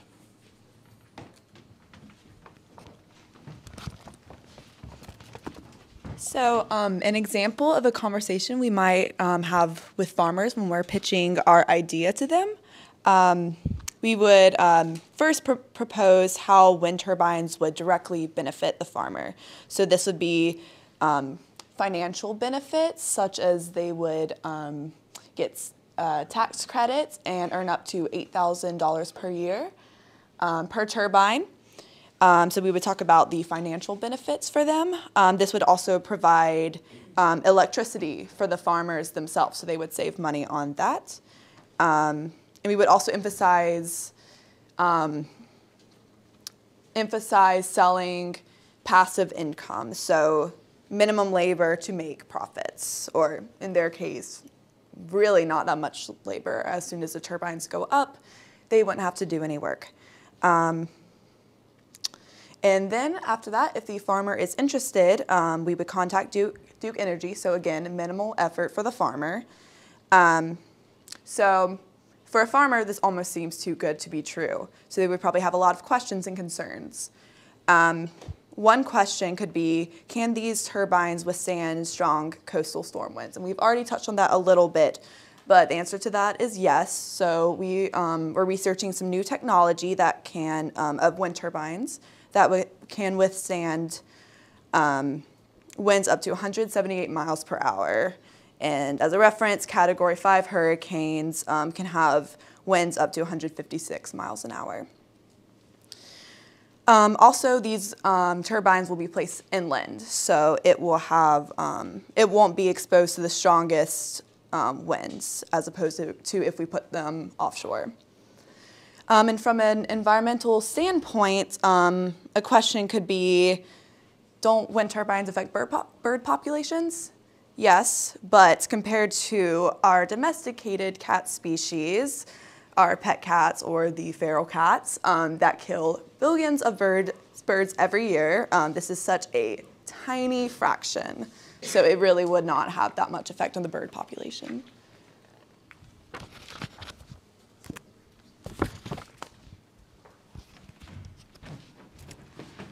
The south the southeast is prone to higher winds due to tropical storms that occur in the area. So farmers ha- that have land in the south in southeastern southeastern U.S. have a great opportunity for wind turbines to be placed to get the mas- maximum benefit from the turbines. Some of the resources that we will have is people, finance, and access. We also need to have a website in order to advertise the service, service of assisting local people to understand benefits of wind energy and provide step-by-step instructions for applying, for applying to grants and receiving tax benefits. When we start up our nonprofit, we will have a small initial payment to secure the services that we will need to use. The types of programs that our nonprofit will be carrying out is community outreach at farmers markets, informing farmers of the benefits of wind energy, educating farmers on the misconceptions associated with wind energy, such as the common mis- misconception that turbines cannot withstand hurricane winds, wind speeds up to 178 miles per hour. Spain has new technology that was awarded a typhoon resistant type certificate. This shows that there is technology that can produce turbines that can withstand high speed tropical storm winds. We will be providing a service by first educating the farmers that may be interested in having wind turbines installed on their farm and then connecting them to the companies who will then build and install the wind turbines on their farm. By doing this, we are trying to expand the usage of wind energy in the area of New Hanover County to create a cleaner environment. In order to reach these farmers, we will attend events such as the Wrightsville Beach and Riverfront Farmers Markets, council and town hall meetings, different community outreach events, and collaborations with Dakota House and different community farms. The farmers market at Wrightsville Beach and the riverfront are good ways that we can connect and educate people of many different backgrounds who may know a lot about renewable energy, or those who may not know a lot, a lot about renewable energy. Council and town hall meetings are a good way to get a change to the regulations that are in place for the environment. And Dakota House is a great location to hold a community that is interested in learning about wind turbines and what renewable energy can do for the environment. Community farms are also a great way to reach out to the people who are interested in the environment but may not know much about renewable energy. So holding an event there will allow people to learn more about the importance of renewable energy, specifically wind energy.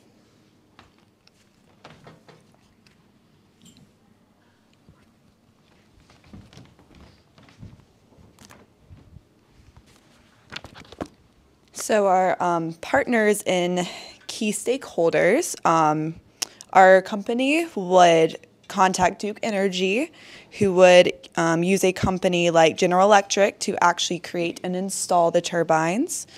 Um, EERE would help fund the project, and of course, we would need um, help and funds um, from local farms and landowners around the southeastern United States to make this happen.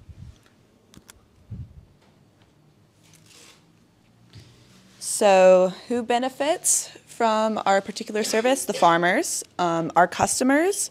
So, who pays for the particular service? Our um, wind powered energy is going to be the federal federal gov- government and anyone who pays for power in New Hanover County. In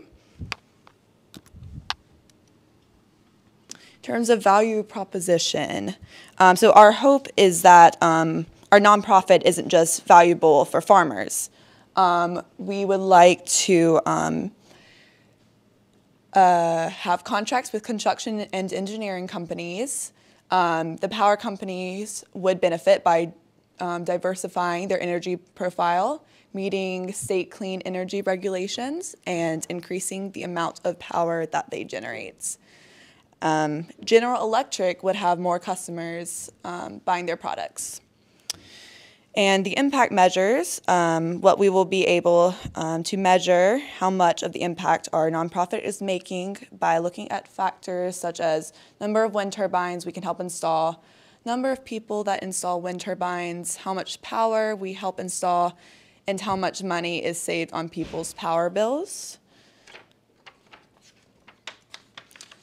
And um, the income that farmers will receive for putting up turbines on their land and um, more sustainable power in the grid and the coastal storm vulner vulnerable areas are um, our customer value proposition. So our initiative cost structures would be mostly a website domain, which would roughly be about $2 a month, and also a professional email so that uh, farmers and others can contact us for our services. We would also need a cost of paying employees a stipend for the training and knowing how to uh, communicate what we will be helping with and performing the operations of applying for grants. And we will also provide resources um, such as transportation, so like funding uh, volunteer activities such as setting up at the farmers markets and having pamphlets and flyers and signs. Uh, revenue would be coming from individual donations majorly, but also corporate giving, such as cause-related marketing, so companies can feel better that they're helping the farm, so say restaurants and grocery stores and other businesses, um, and small fees and government grants. Our surplus, we, since we're a nonprofit, we'll have restricted funds that would just be used for furthering and reinvesting in these renewable energy initiatives and also taking um, any donations to further spread the idea and educate more people about the renewable energy and pay down any debts from loans. So our sustainable development goals that we'll be progressing are affordable and clean energy, industry innovation and infrastructure, and sustainable cities and communities. And by doing so, we'll have, uh, for New Hanover County, as the eighth worst pollution level, and most 99% of the energy they currently use comes from non-renewable sources. So uh, by implementing more durable and smarter wind technology will help uh, to reduce the cost from hurricane damage and also reducing generator use from uh, which is mostly fueled by non-renewable fuel sources and is bad for people's health. So New Hanover County is one of the fastest growing regions and coastal regions in general have a higher population and especially during summer months with tourism, energy use goes up. So it is important to have that there. And it will help build community resilience in these areas.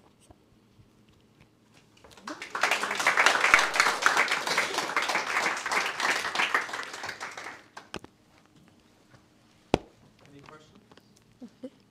Uh, yeah, so just first up, so you guys, um, you said that the, the new Hanover County law is that you have to be like, you can't be within sight, the wind, wind farm can't be in sight of any houses or anything like that, correct? Correct. So why would you guys, just, just like, I, uh, just as a quick question, like, why, why choose New Hanover County specifically rather than someplace where they might have more lenient laws regarding wind farms and stuff like that? So for current new uh, offshore wind is focusing like in North Carolina a lot is at Kitty Hawk and this is another popular tourist destination and the coastal regions are heavily affected by hurricane damage so but we also have a high wind resources there. But it would be at the farms that are we our inshore uh, initiative would focus more on farms that are further away from the city centers and the downtown areas and the beaches. So it would not be in the view of tourism, so we wouldn't have that backlash. No, no, no, I, I'm asking why not choose like another county in general, because they have less Oh, well, regulation? eventually our goal is to spread it throughout, um, the southeastern coast, but we, we just chose to focus in on New Hanover County because of those personal connections. Um, for research, we, um, it was easier to choose like examples of farmers markets and, yeah. And of course, like with anywhere in the south uh, east, we're gonna come into barriers like this where the politicians that there that are leading the communities there are representative of them, and so um, if we ch- we can change the way that the people think there, then laws and regulations will follow from that. Can I, can I add to that for them? Um, So New Hanover County, so uh, Marley mentioned Kitty Hawk, and that's where in North Carolina the only offshore wind farm is. But New Hanover County is the second, or it's, is, it's equally tied for wind energy.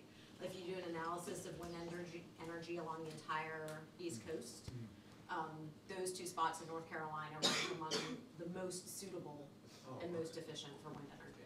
So that, that's it.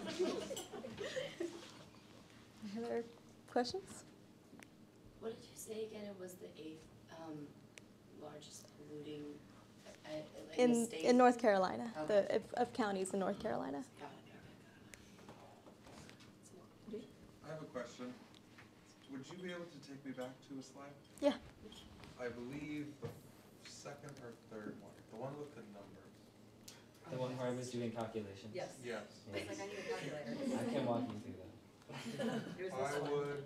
I Is it- is it that one or Doing a lot of hand this one? Maybe, No, it was- it it was was somewhere this on this slide. This is the one where I was doing math, if that's what you're referring Yes, to. this one. Uh, you were talking through if you like put wind turbines on, how many Mhm. farms were there? So there's 59 farms in the county, and I was suggesting that if we, um, like, as opposed to having large wind farms that would take up a lot of area and be what people would think of as an eyesore, if you just have a, c- two wind turbines on each farm in the county, then that would have the potential to supply enough energy to supply all of the homes that exist in the county um, with the new wind turbine um, technology that we were researching.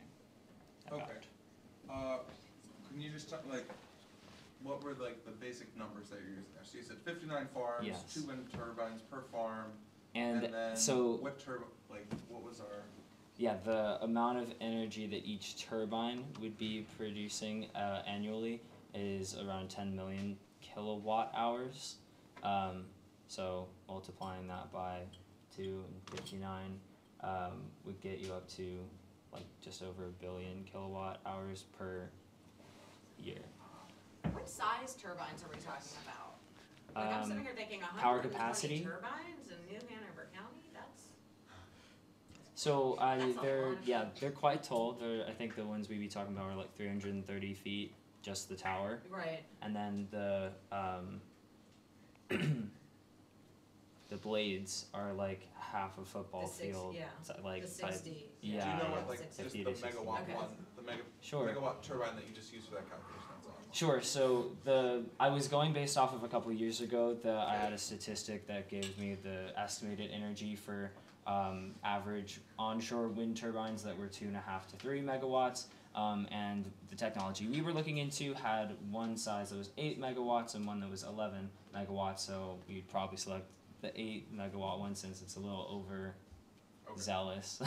um, but so just I was sort of extrapolating from that, um, taking six million kilowatt hours per wind turbine. I figured 10 was a conservative estimate for the amount of energy that would be produced by the type of wind turbine that we're looking to install in this area. can I have one more nitpicky definition, just because you picked my county? Sure. What's your definition of farm for New Hanover County? I had a resource that said in 2017 there were 59 farms, and it was from the state itself, so unsure. But I see what you're saying. It could be something that you uh-huh. know wouldn't exactly like. It's optimistic. I understand. Yeah. So Yeah. not every single farm. I was using it as a um, sort of just to put in perspective the potential that does exist in the county. Um, obviously, when you're actually implementing, if that maybe we'd be shooting for that average, and it, it would be unrealistic to have two at every single farm. And just so the non-North Carolinians know what a farm is in North Carolina, it's a certain pers- it's a certain percentage of your revenue has to be made from mm-hmm. your sourced goods for sale. We don't have fifty-nine farms. And the farms we have are actually horse, like true farms, like when you guys think of farms, are horse farms. So, but we have fifty-nine companies making their revenue off of growing and producing food products or farm products. That's why I was looking at farms. Sorry. Okay, uh, thank you so much, and we can continue to debate about this later.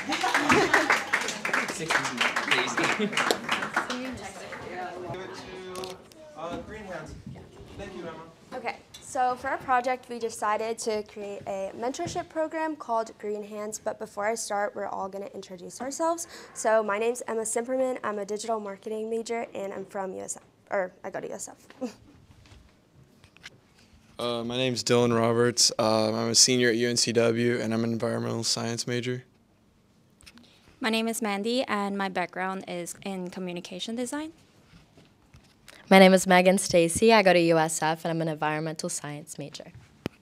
My name is Sydney Dumars. I'm a recent graduate from the University of Houston. I majored in liberal studies with minors in Spanish, journalism, and energy and sustainability.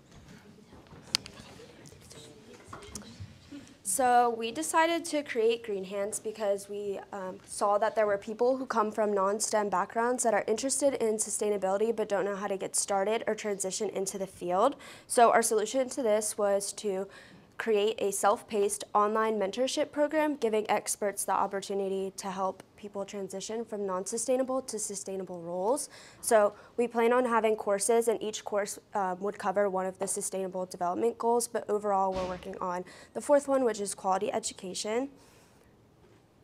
Okay, so this would be the mentorship platform and what it looks like. So we plan on having, again, like a course for each goal. And the course would be um, separated into different modules. Each mm-hmm. module would contain a refresher, I guess, pre-recorded like lecture and a quiz. Since it is self-paced, we don't know like, I guess, how long it's taking them. So, and then in the module, there's also going to be more pre-recorded lectures and then a quiz. You have to receive at least 80% on the quiz to unlock the next module. And then from there, after you complete all the modules, it's going to be a big assignment, which you will get personalized feedback from that professor. And then once you complete this course, you'll receive a certificate and a letter of recommendation, which Megan will talk more about.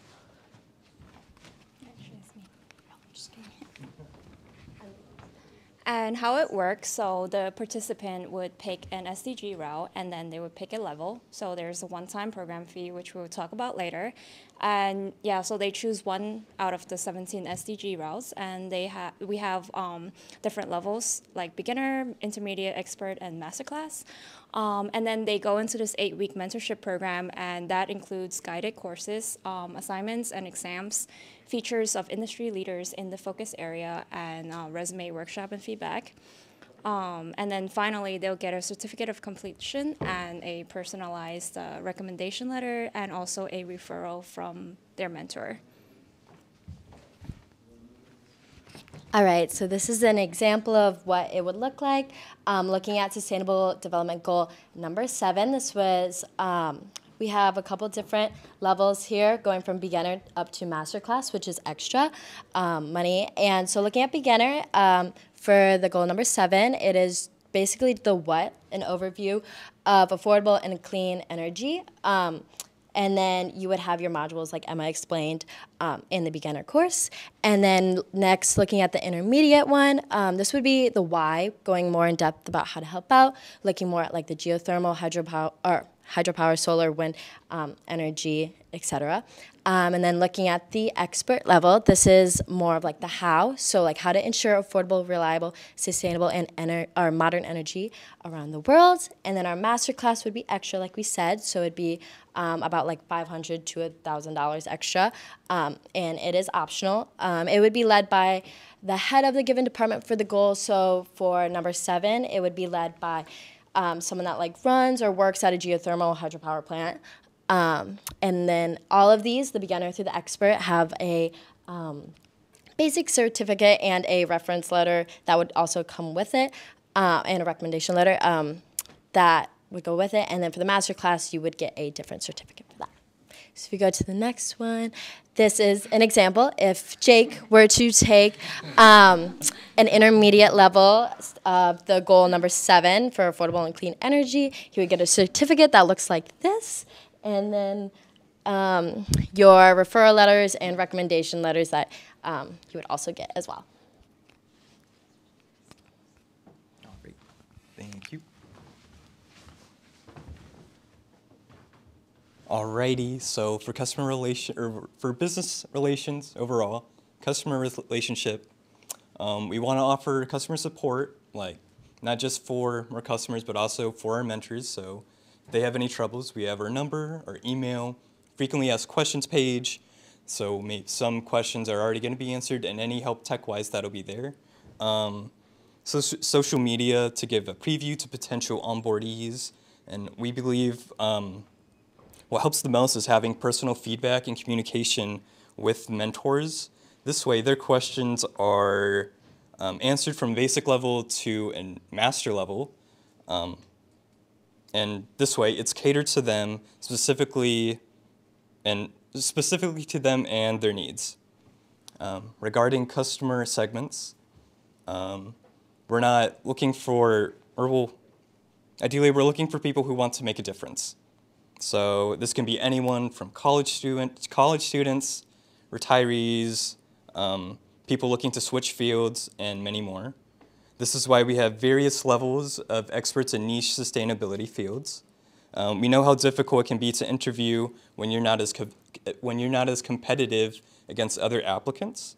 So this is why learning and understanding a specific stu- a sp- sorry a specific study at a slower pace um, by a mentor in this field will give them like an up, uh, like a better hand at it. This is like a professional launch pad into a field sustainability wise they want to go into. Um, and then our distribution channels. So um, how we're going to get, how we're going to onboard our customers and our mentors.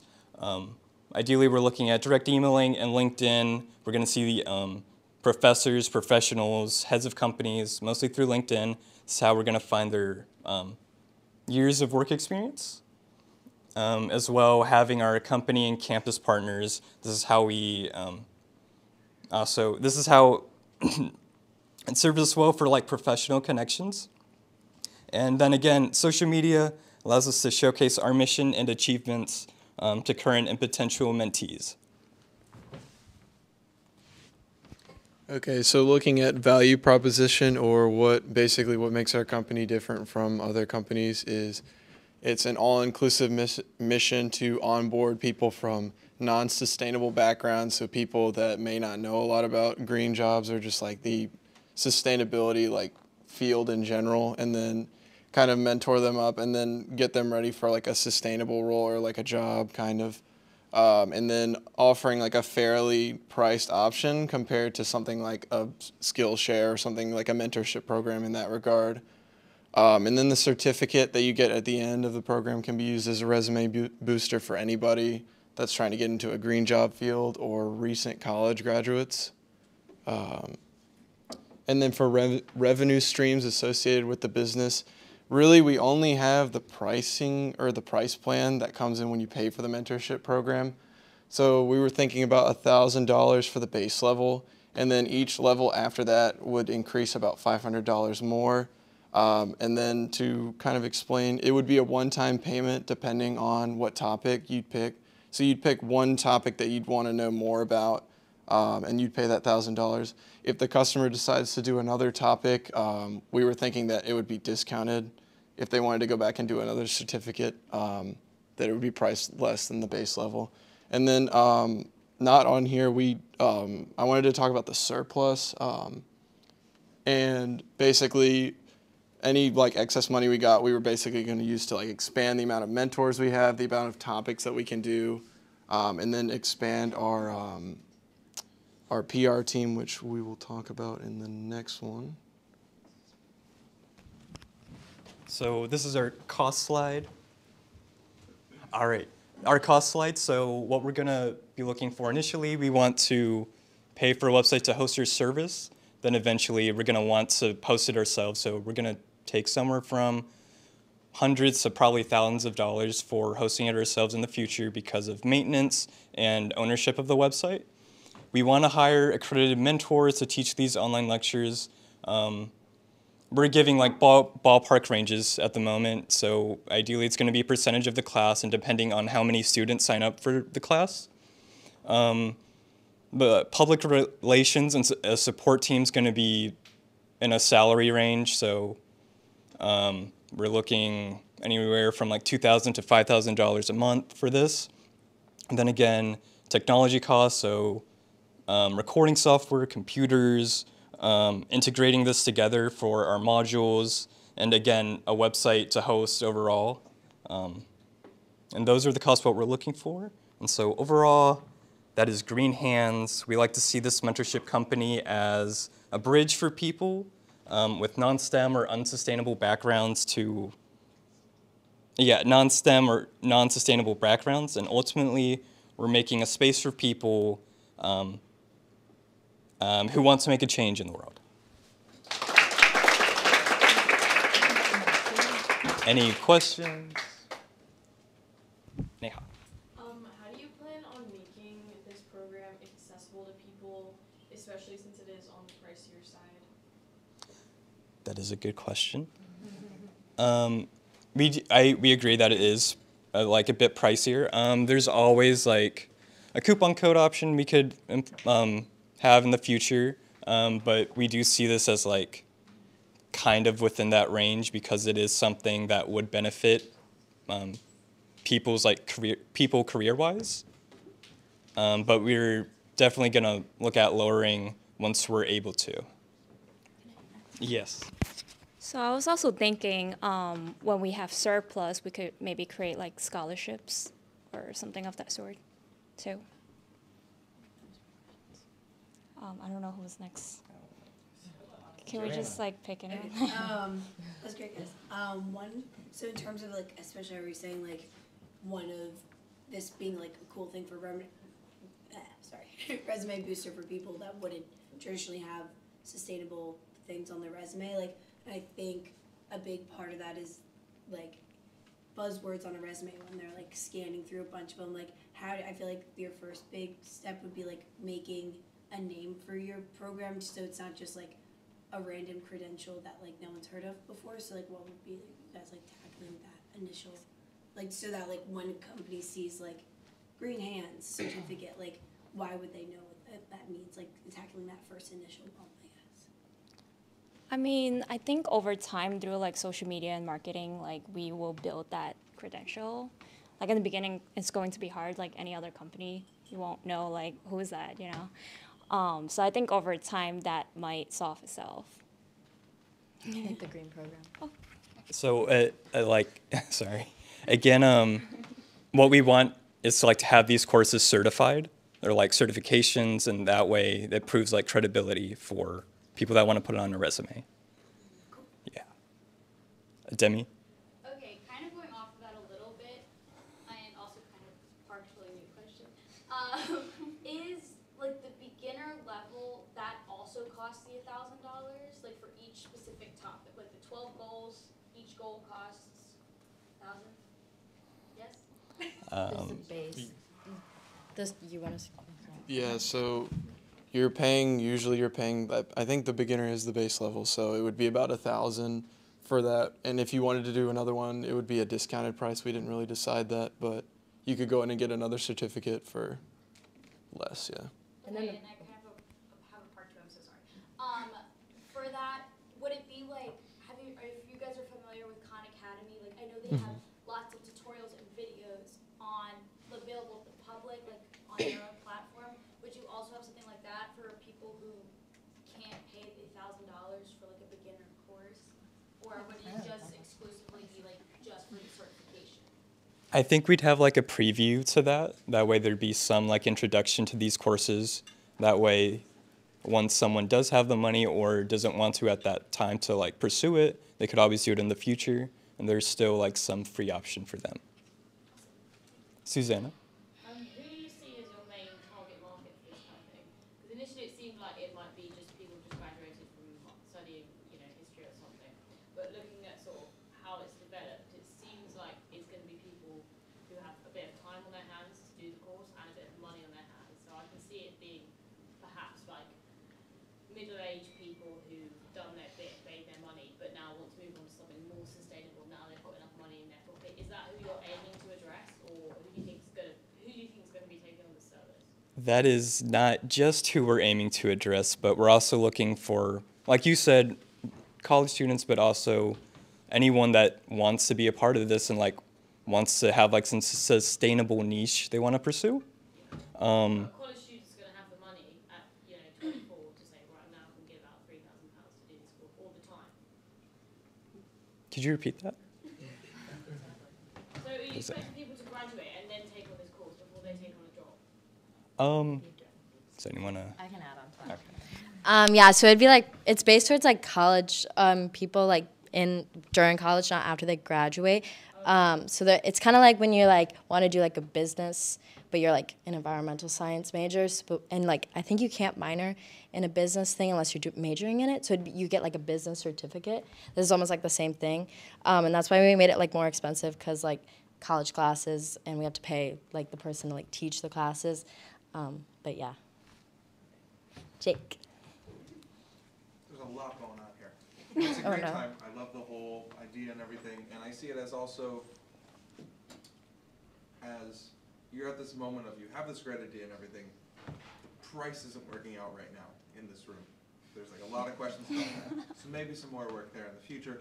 But there are people that are further along as like in professional development, even companies that they train their staff to provide professional development for them. Mm-hmm. And you're seeing this shift towards in businesses towards professional not towards professional in businesses and companies towards sustainability. And this is a great resource for them to and they are specific to focus in their area and i see a great pathway forward for that. And i think even at this price point it kind of fits in with that. But for the youthful for people younger uh, maybe not so much, but that public access and at least something to start the way, even a lower level for students in college to have a part in it, I think is awesome. Amy, you wanna finish us up here? I would, I would just, I would com- I completely agree. I know you guys are all kind of a little bit in sticker shock, but that is a completely normal price range for a professional development certification. Like LEED certification costs at least three thousand dollars, wetland certification easily costs three thousand dollars. Like this is, you guys are actually offering a good product at a slightly smaller price. Um, but to make it even more, to make it even more approachable, like, like you just said, and some people are kind of petitioning for, um, I would just recommend adding that, like, sustainability officer and training level or something, where you have like that student pricing mechanism that's that in training or that level of a, of a certificate. But Yeah. I think it's a great idea. Thank you.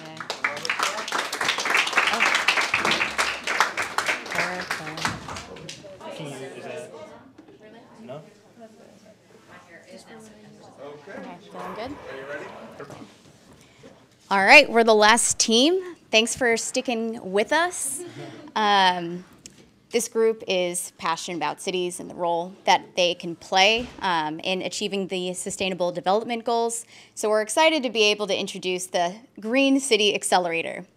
Before we dive into the content, we'll do some quick introductions. My name is Whitney Stewart. I graduated from Penn in 2019, and now I'm a business strategy consultant at Accenture in our sustainability practice. I am Daisy Perez. I study environmental science and policy at USF, and I also work with my local county government. My name is Katie Johnson. I'm a senior at UNC Wilmington studying environmental science with uh, two minors in business and biology. My name is Jake Morris. I'm a liberal studies major with an environmental humanities minor at Arizona State. Cool. So, just to give you an idea of where we're going, we'll start with the sustainability imperative driving the need for something like a Green City Accelerator. We'll talk about the business canvas model for the Green City Accelerator. Then we'll dive into three cities that we think would be good candidates for us to launch a pilot. And then we'll close out with some Q&A. Cool. Now we'll start off with the sustainability imperative. According to the IPCC, if in order for us to achieve or to limit global warming to 1.5 degrees Celsius, cities are going to need to achieve net zero by 2050. So it only makes sense that, you know, UN Secretary General is right. Cities are where the climate battle will largely be won or lost. But why are cities so so important to this? You know, why are they uniquely positioned to usher in a net zero carbon future? Part of it's about demographic changes. Um, the first global population is expected to rise to 9.7 billion by 2050. Second, you know, people are moving from the periphery into the center. Um, of that 9.7 billion, 6.6 billion are expected to live in cities by 2050. And with all of that comes increased rise of energy demand. Um, global energy demand is expected to rise to by 47% by, by 2050. Which leads us to our Green City Accelerator, which addresses four of the 17 Sustainable Development Goals. We have uh, SDG 9, which is focused on infrastructure, 11 focused on sustainable cities and communities, 13 focused on climate action, and 17 bread and butter partnerships for the goals. So, in order for us to usher in um, this net zero carbon future, we want to really leverage the power of public private partnerships. And we plan to do that by proposing a nine month um, accelerator for cities and startups to come together to pilot the renewable energy solutions that are necessary to achieve net zero um, while addressing some of those critical infrastructure challenges. Yeah, absolutely. Like Whitney just mentioned, our Green City Accelerator program focuses on crumbling infrastructure and have that also have poor energy usage and thus will be uniquely positioned to assist our two customer stakeholders, both our cities and our startup. So our first customer stakeholders are our cities, which will receive a net zero carbon strategy support, execution of our governance support, access to innovative technology, and also a way and an ability to use that technology in their city. Our next customer stakeholder is our startup companies, which will receive training, financial investments, product op optimization, meaning they're able to use their product and also access to our clients and our support through our piloting program. So our next, our customers, partners, and our stakeholders are critical to the success of our operations. Like I mentioned, we have two customers First, our cities will pay for the strategy and implementations of our consulting services, whereas our startup, they're also our customers, but we will be uh, getting a 10% stake in their company. Our partners include our venture capital firms and our social media influencers, as well as our stakeholders, which include cities, community leaders, local governments, and also the citizens of the communities as well. So, the Green City Accelerator provides programming over the course of nine months total. For the first three months, we will be going through steps one through four.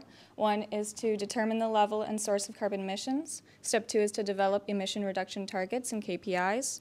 Three is prioritize initiatives to reduce emissions. And four is to identify key technology enablers. And within step four, um, cities will be matched with startups possessing the capabilities and experience necessary to enable progress toward emission reduction targets. And it, within step five, it will, it will, take course over six months, and um, it will be the implementation of the pilot. This will be a project where our technology consultants will work with startups and city officials in order to integrate technology solutions in the context of cities incorporating renewable energies, and it will remain customizable towards different cities. Thank you. So we and the Green City Accelerator will measure success through a defined set of KPIs, and our metrics of success will include the number of startups in our ecosystems, the number of startup IPOs, the start valuation, the number of cities in our ecosystems, and the achievement of each city startup's pilot um, KPIs. And now to do a uh, quick uh, rundown of the uh, costs. Uh, excuse me. Uh, first off, we're talking about uh, startup revenue. our goal is $1 million in the, in the first two years of business, and we are getting that from, again, business, business loans, grants and venture capital. Uh, now, it may seem it may seem like a lot, but we have to consider uh, scale and where we want to go. And in comparison with uh, how we looked into this, you know, it seems pretty. It seemed like a fair amount for within within two years to shoot to shoot for that goal. And obviously, uh, with revenue. Uh, we already talked about getting consulting fees from cities, 10% stake, uh, stakes, uh, company stakes from startups, and then business costs. Getting into that more specifically, we're talking about employee salaries. We rough, we estimated that about $50,000 each uh, annually. Uh, we're also considering traveling uh, for for site visits as needed. we're going to places. We're building we're building connections, so we may need to travel as as fit. Office supplies here and there we have to consider consider that, and marketing. And that's, and that's a, a big thing right there. Uh, we are considering social media and digital advertising and advertising in general. Um, and what resources, continuing on, what resources will we need to run this? Uh, sustainability strategy and technology consultants for pilot design and implementation support, access to venture capital for startup costs, access to city officials with budget for sustainability initiatives related to infrastructure, uh, and robust uh, startup ecosystem introducing bleeding edge renewable technology solutions. Uh, continuing on, uh, talking about, again, social, me social media. Um, uh, we would be present on LinkedIn, Twitter, and Spotify, talking like about Spotify um, having ad spots on podcasts, you know, catering to that uh, environmental technology uh, audience and putting putting ads on there, and also our public relations, community outreach, uh, town hall meetings, MBA MBA startup outreaches. Uh, we are building connections. We want to have good standings within these communities as well.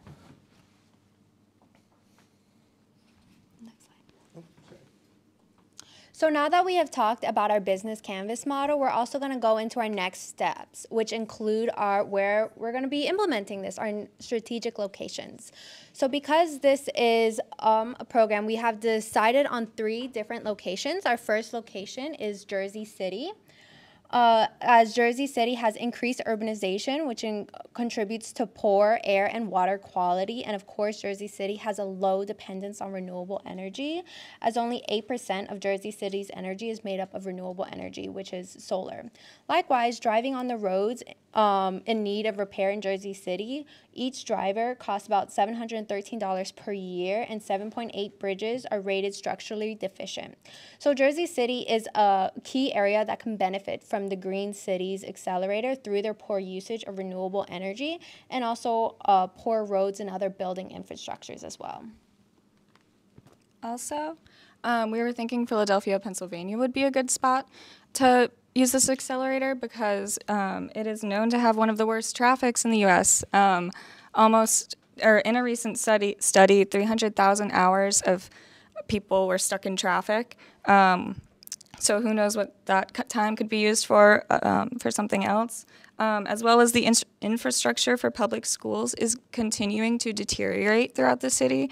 Um, the Federation for Philadelphia Federation of Teachers um, was suing its school district because of lack of funding, and um, it was able to collect $1 billion to fix the schools statewide from the um, governor. Um, but by using renewable technologies in the classroom, it could inspire children and young adults to be interested in green technologies while they're being surrounded by these green technologies in the classroom. Um, as well, during a recent report for Pennsylvania in 2014, the state was below average for many infrastructural institutions like their water, um, wastewater department, their freight rail park system, and hazardous waste treatment all received below average grades. But um, the ability of renewable energies to help with the heating and cooling of schools, buses, and water treatment and transportation could further the spearheading of renewable energies and create the city to be a lot more sustainable. Another uh, city we are considering is Albany. I have to represent New York here. Uh, Albany being a mid-sized city and also being close to the Hudson River. Uh, Hudson River uh, having long-standing issues of contamination and pollution. It's always been a huge issue, and it's only getting worse.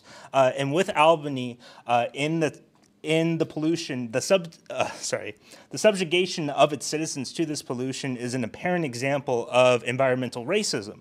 Uh, these are also issues. Uh, this is another issue that we need to that needs to be addressed by local governments. Beyond structural problems that we've all been talking about, uh, there are also there are also social problems surrounding the environment that needs to be considered, and our accelerator can be used to build those healthy foundations. If you don't take that.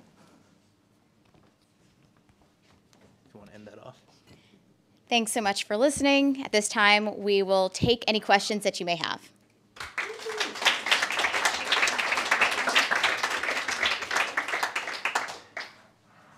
So for one of your cities, you talked about how Philly has like the worst traffic and how cutting down on those hours could help.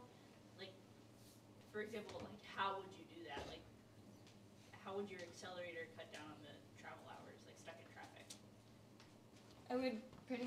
you do that? Like, how would your accelerator cut down on the travel hours, like stuck in traffic? I would pretty much be based on um, what startups come to us and what their ideas are. So we that's like one of the issues that we want to tackle. Um, so they would be the ones coming up with the ideas, coming to us to help manufacture how to fix that. Okay, so you guys aren't the ones like coming up with the ideas; you're the ones implementing them. So, kind of. So to, to add a little bit more color, you know, when we're talking to cities um, and to the startups in our ecosystems, we'll go to the, the cities and try to understand what their specific challenges are, what is that prioritized list. Um, and then, you know, so what we discussed may not be what they're most interested in. Maybe they want they want to understand the best way to um, electrify their public transporta- transportation, for example, right, and, and address um, emissions from you know that from that angle. Um, and then at that point, we'll connect them to startups um, in in the region that have the technology that will enable them to achieve that. Okay, and I had one other question. Yes, KPI. What does KPI stand for? Key performance indicator. Okay. Yeah. So once you have your your project, it's basically like how like what are, what are we going to measure ourselves by? What's the rubric? Okay. That's it. Shubesh. So for the cost, I saw that you're taking one million dollar- dollars in terms of loans or um, generating to start the project. Um, What's the breakdown of that one million dollars? Like, how did you come up with that number? So it's a mix of so it would be over the next two years. So you know you could split it up um, five, 500, 500. Um, so part of it is, you know, just paying ourselves. So you already have 200K out of that 300. Um, we didn't delineate like percentage wise, you know, what's going to go toward um, travel versus marketing, et cetera. But all of those other costs that we delineated would be covered in the rest of that 300K. Um, and then surplus, any surplus could go toward um, supporting um, pro bono efforts for cities that have uh, the desire to um, move toward more sustainable practices, but just don't have um, the budget to do so.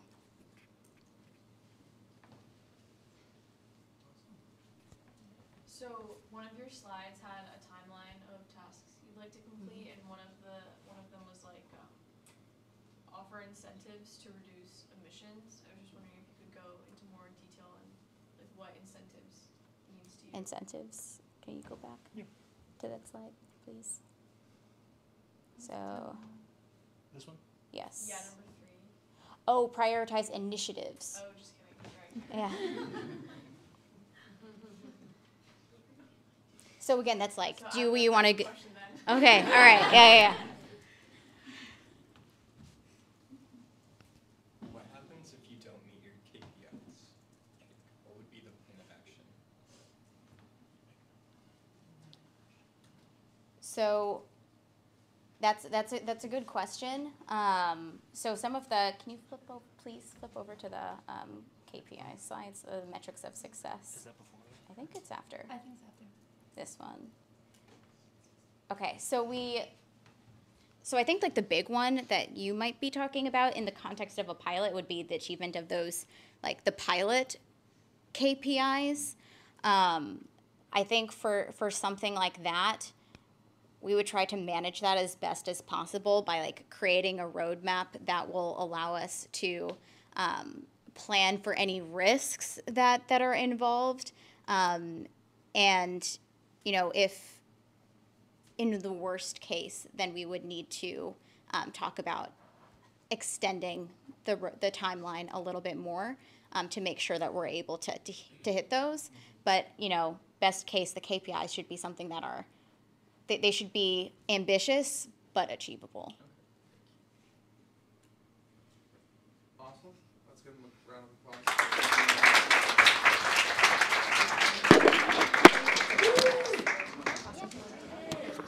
Good job, team. Okay, before you,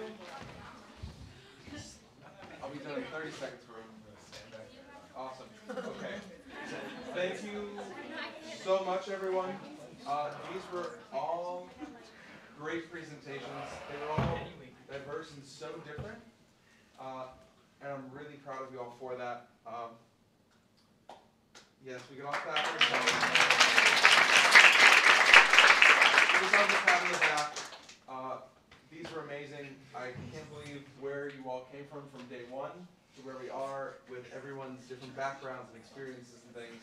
It's been amazing. So I'm so glad to have you here for this. And you should all be proud of yourselves. Thank you.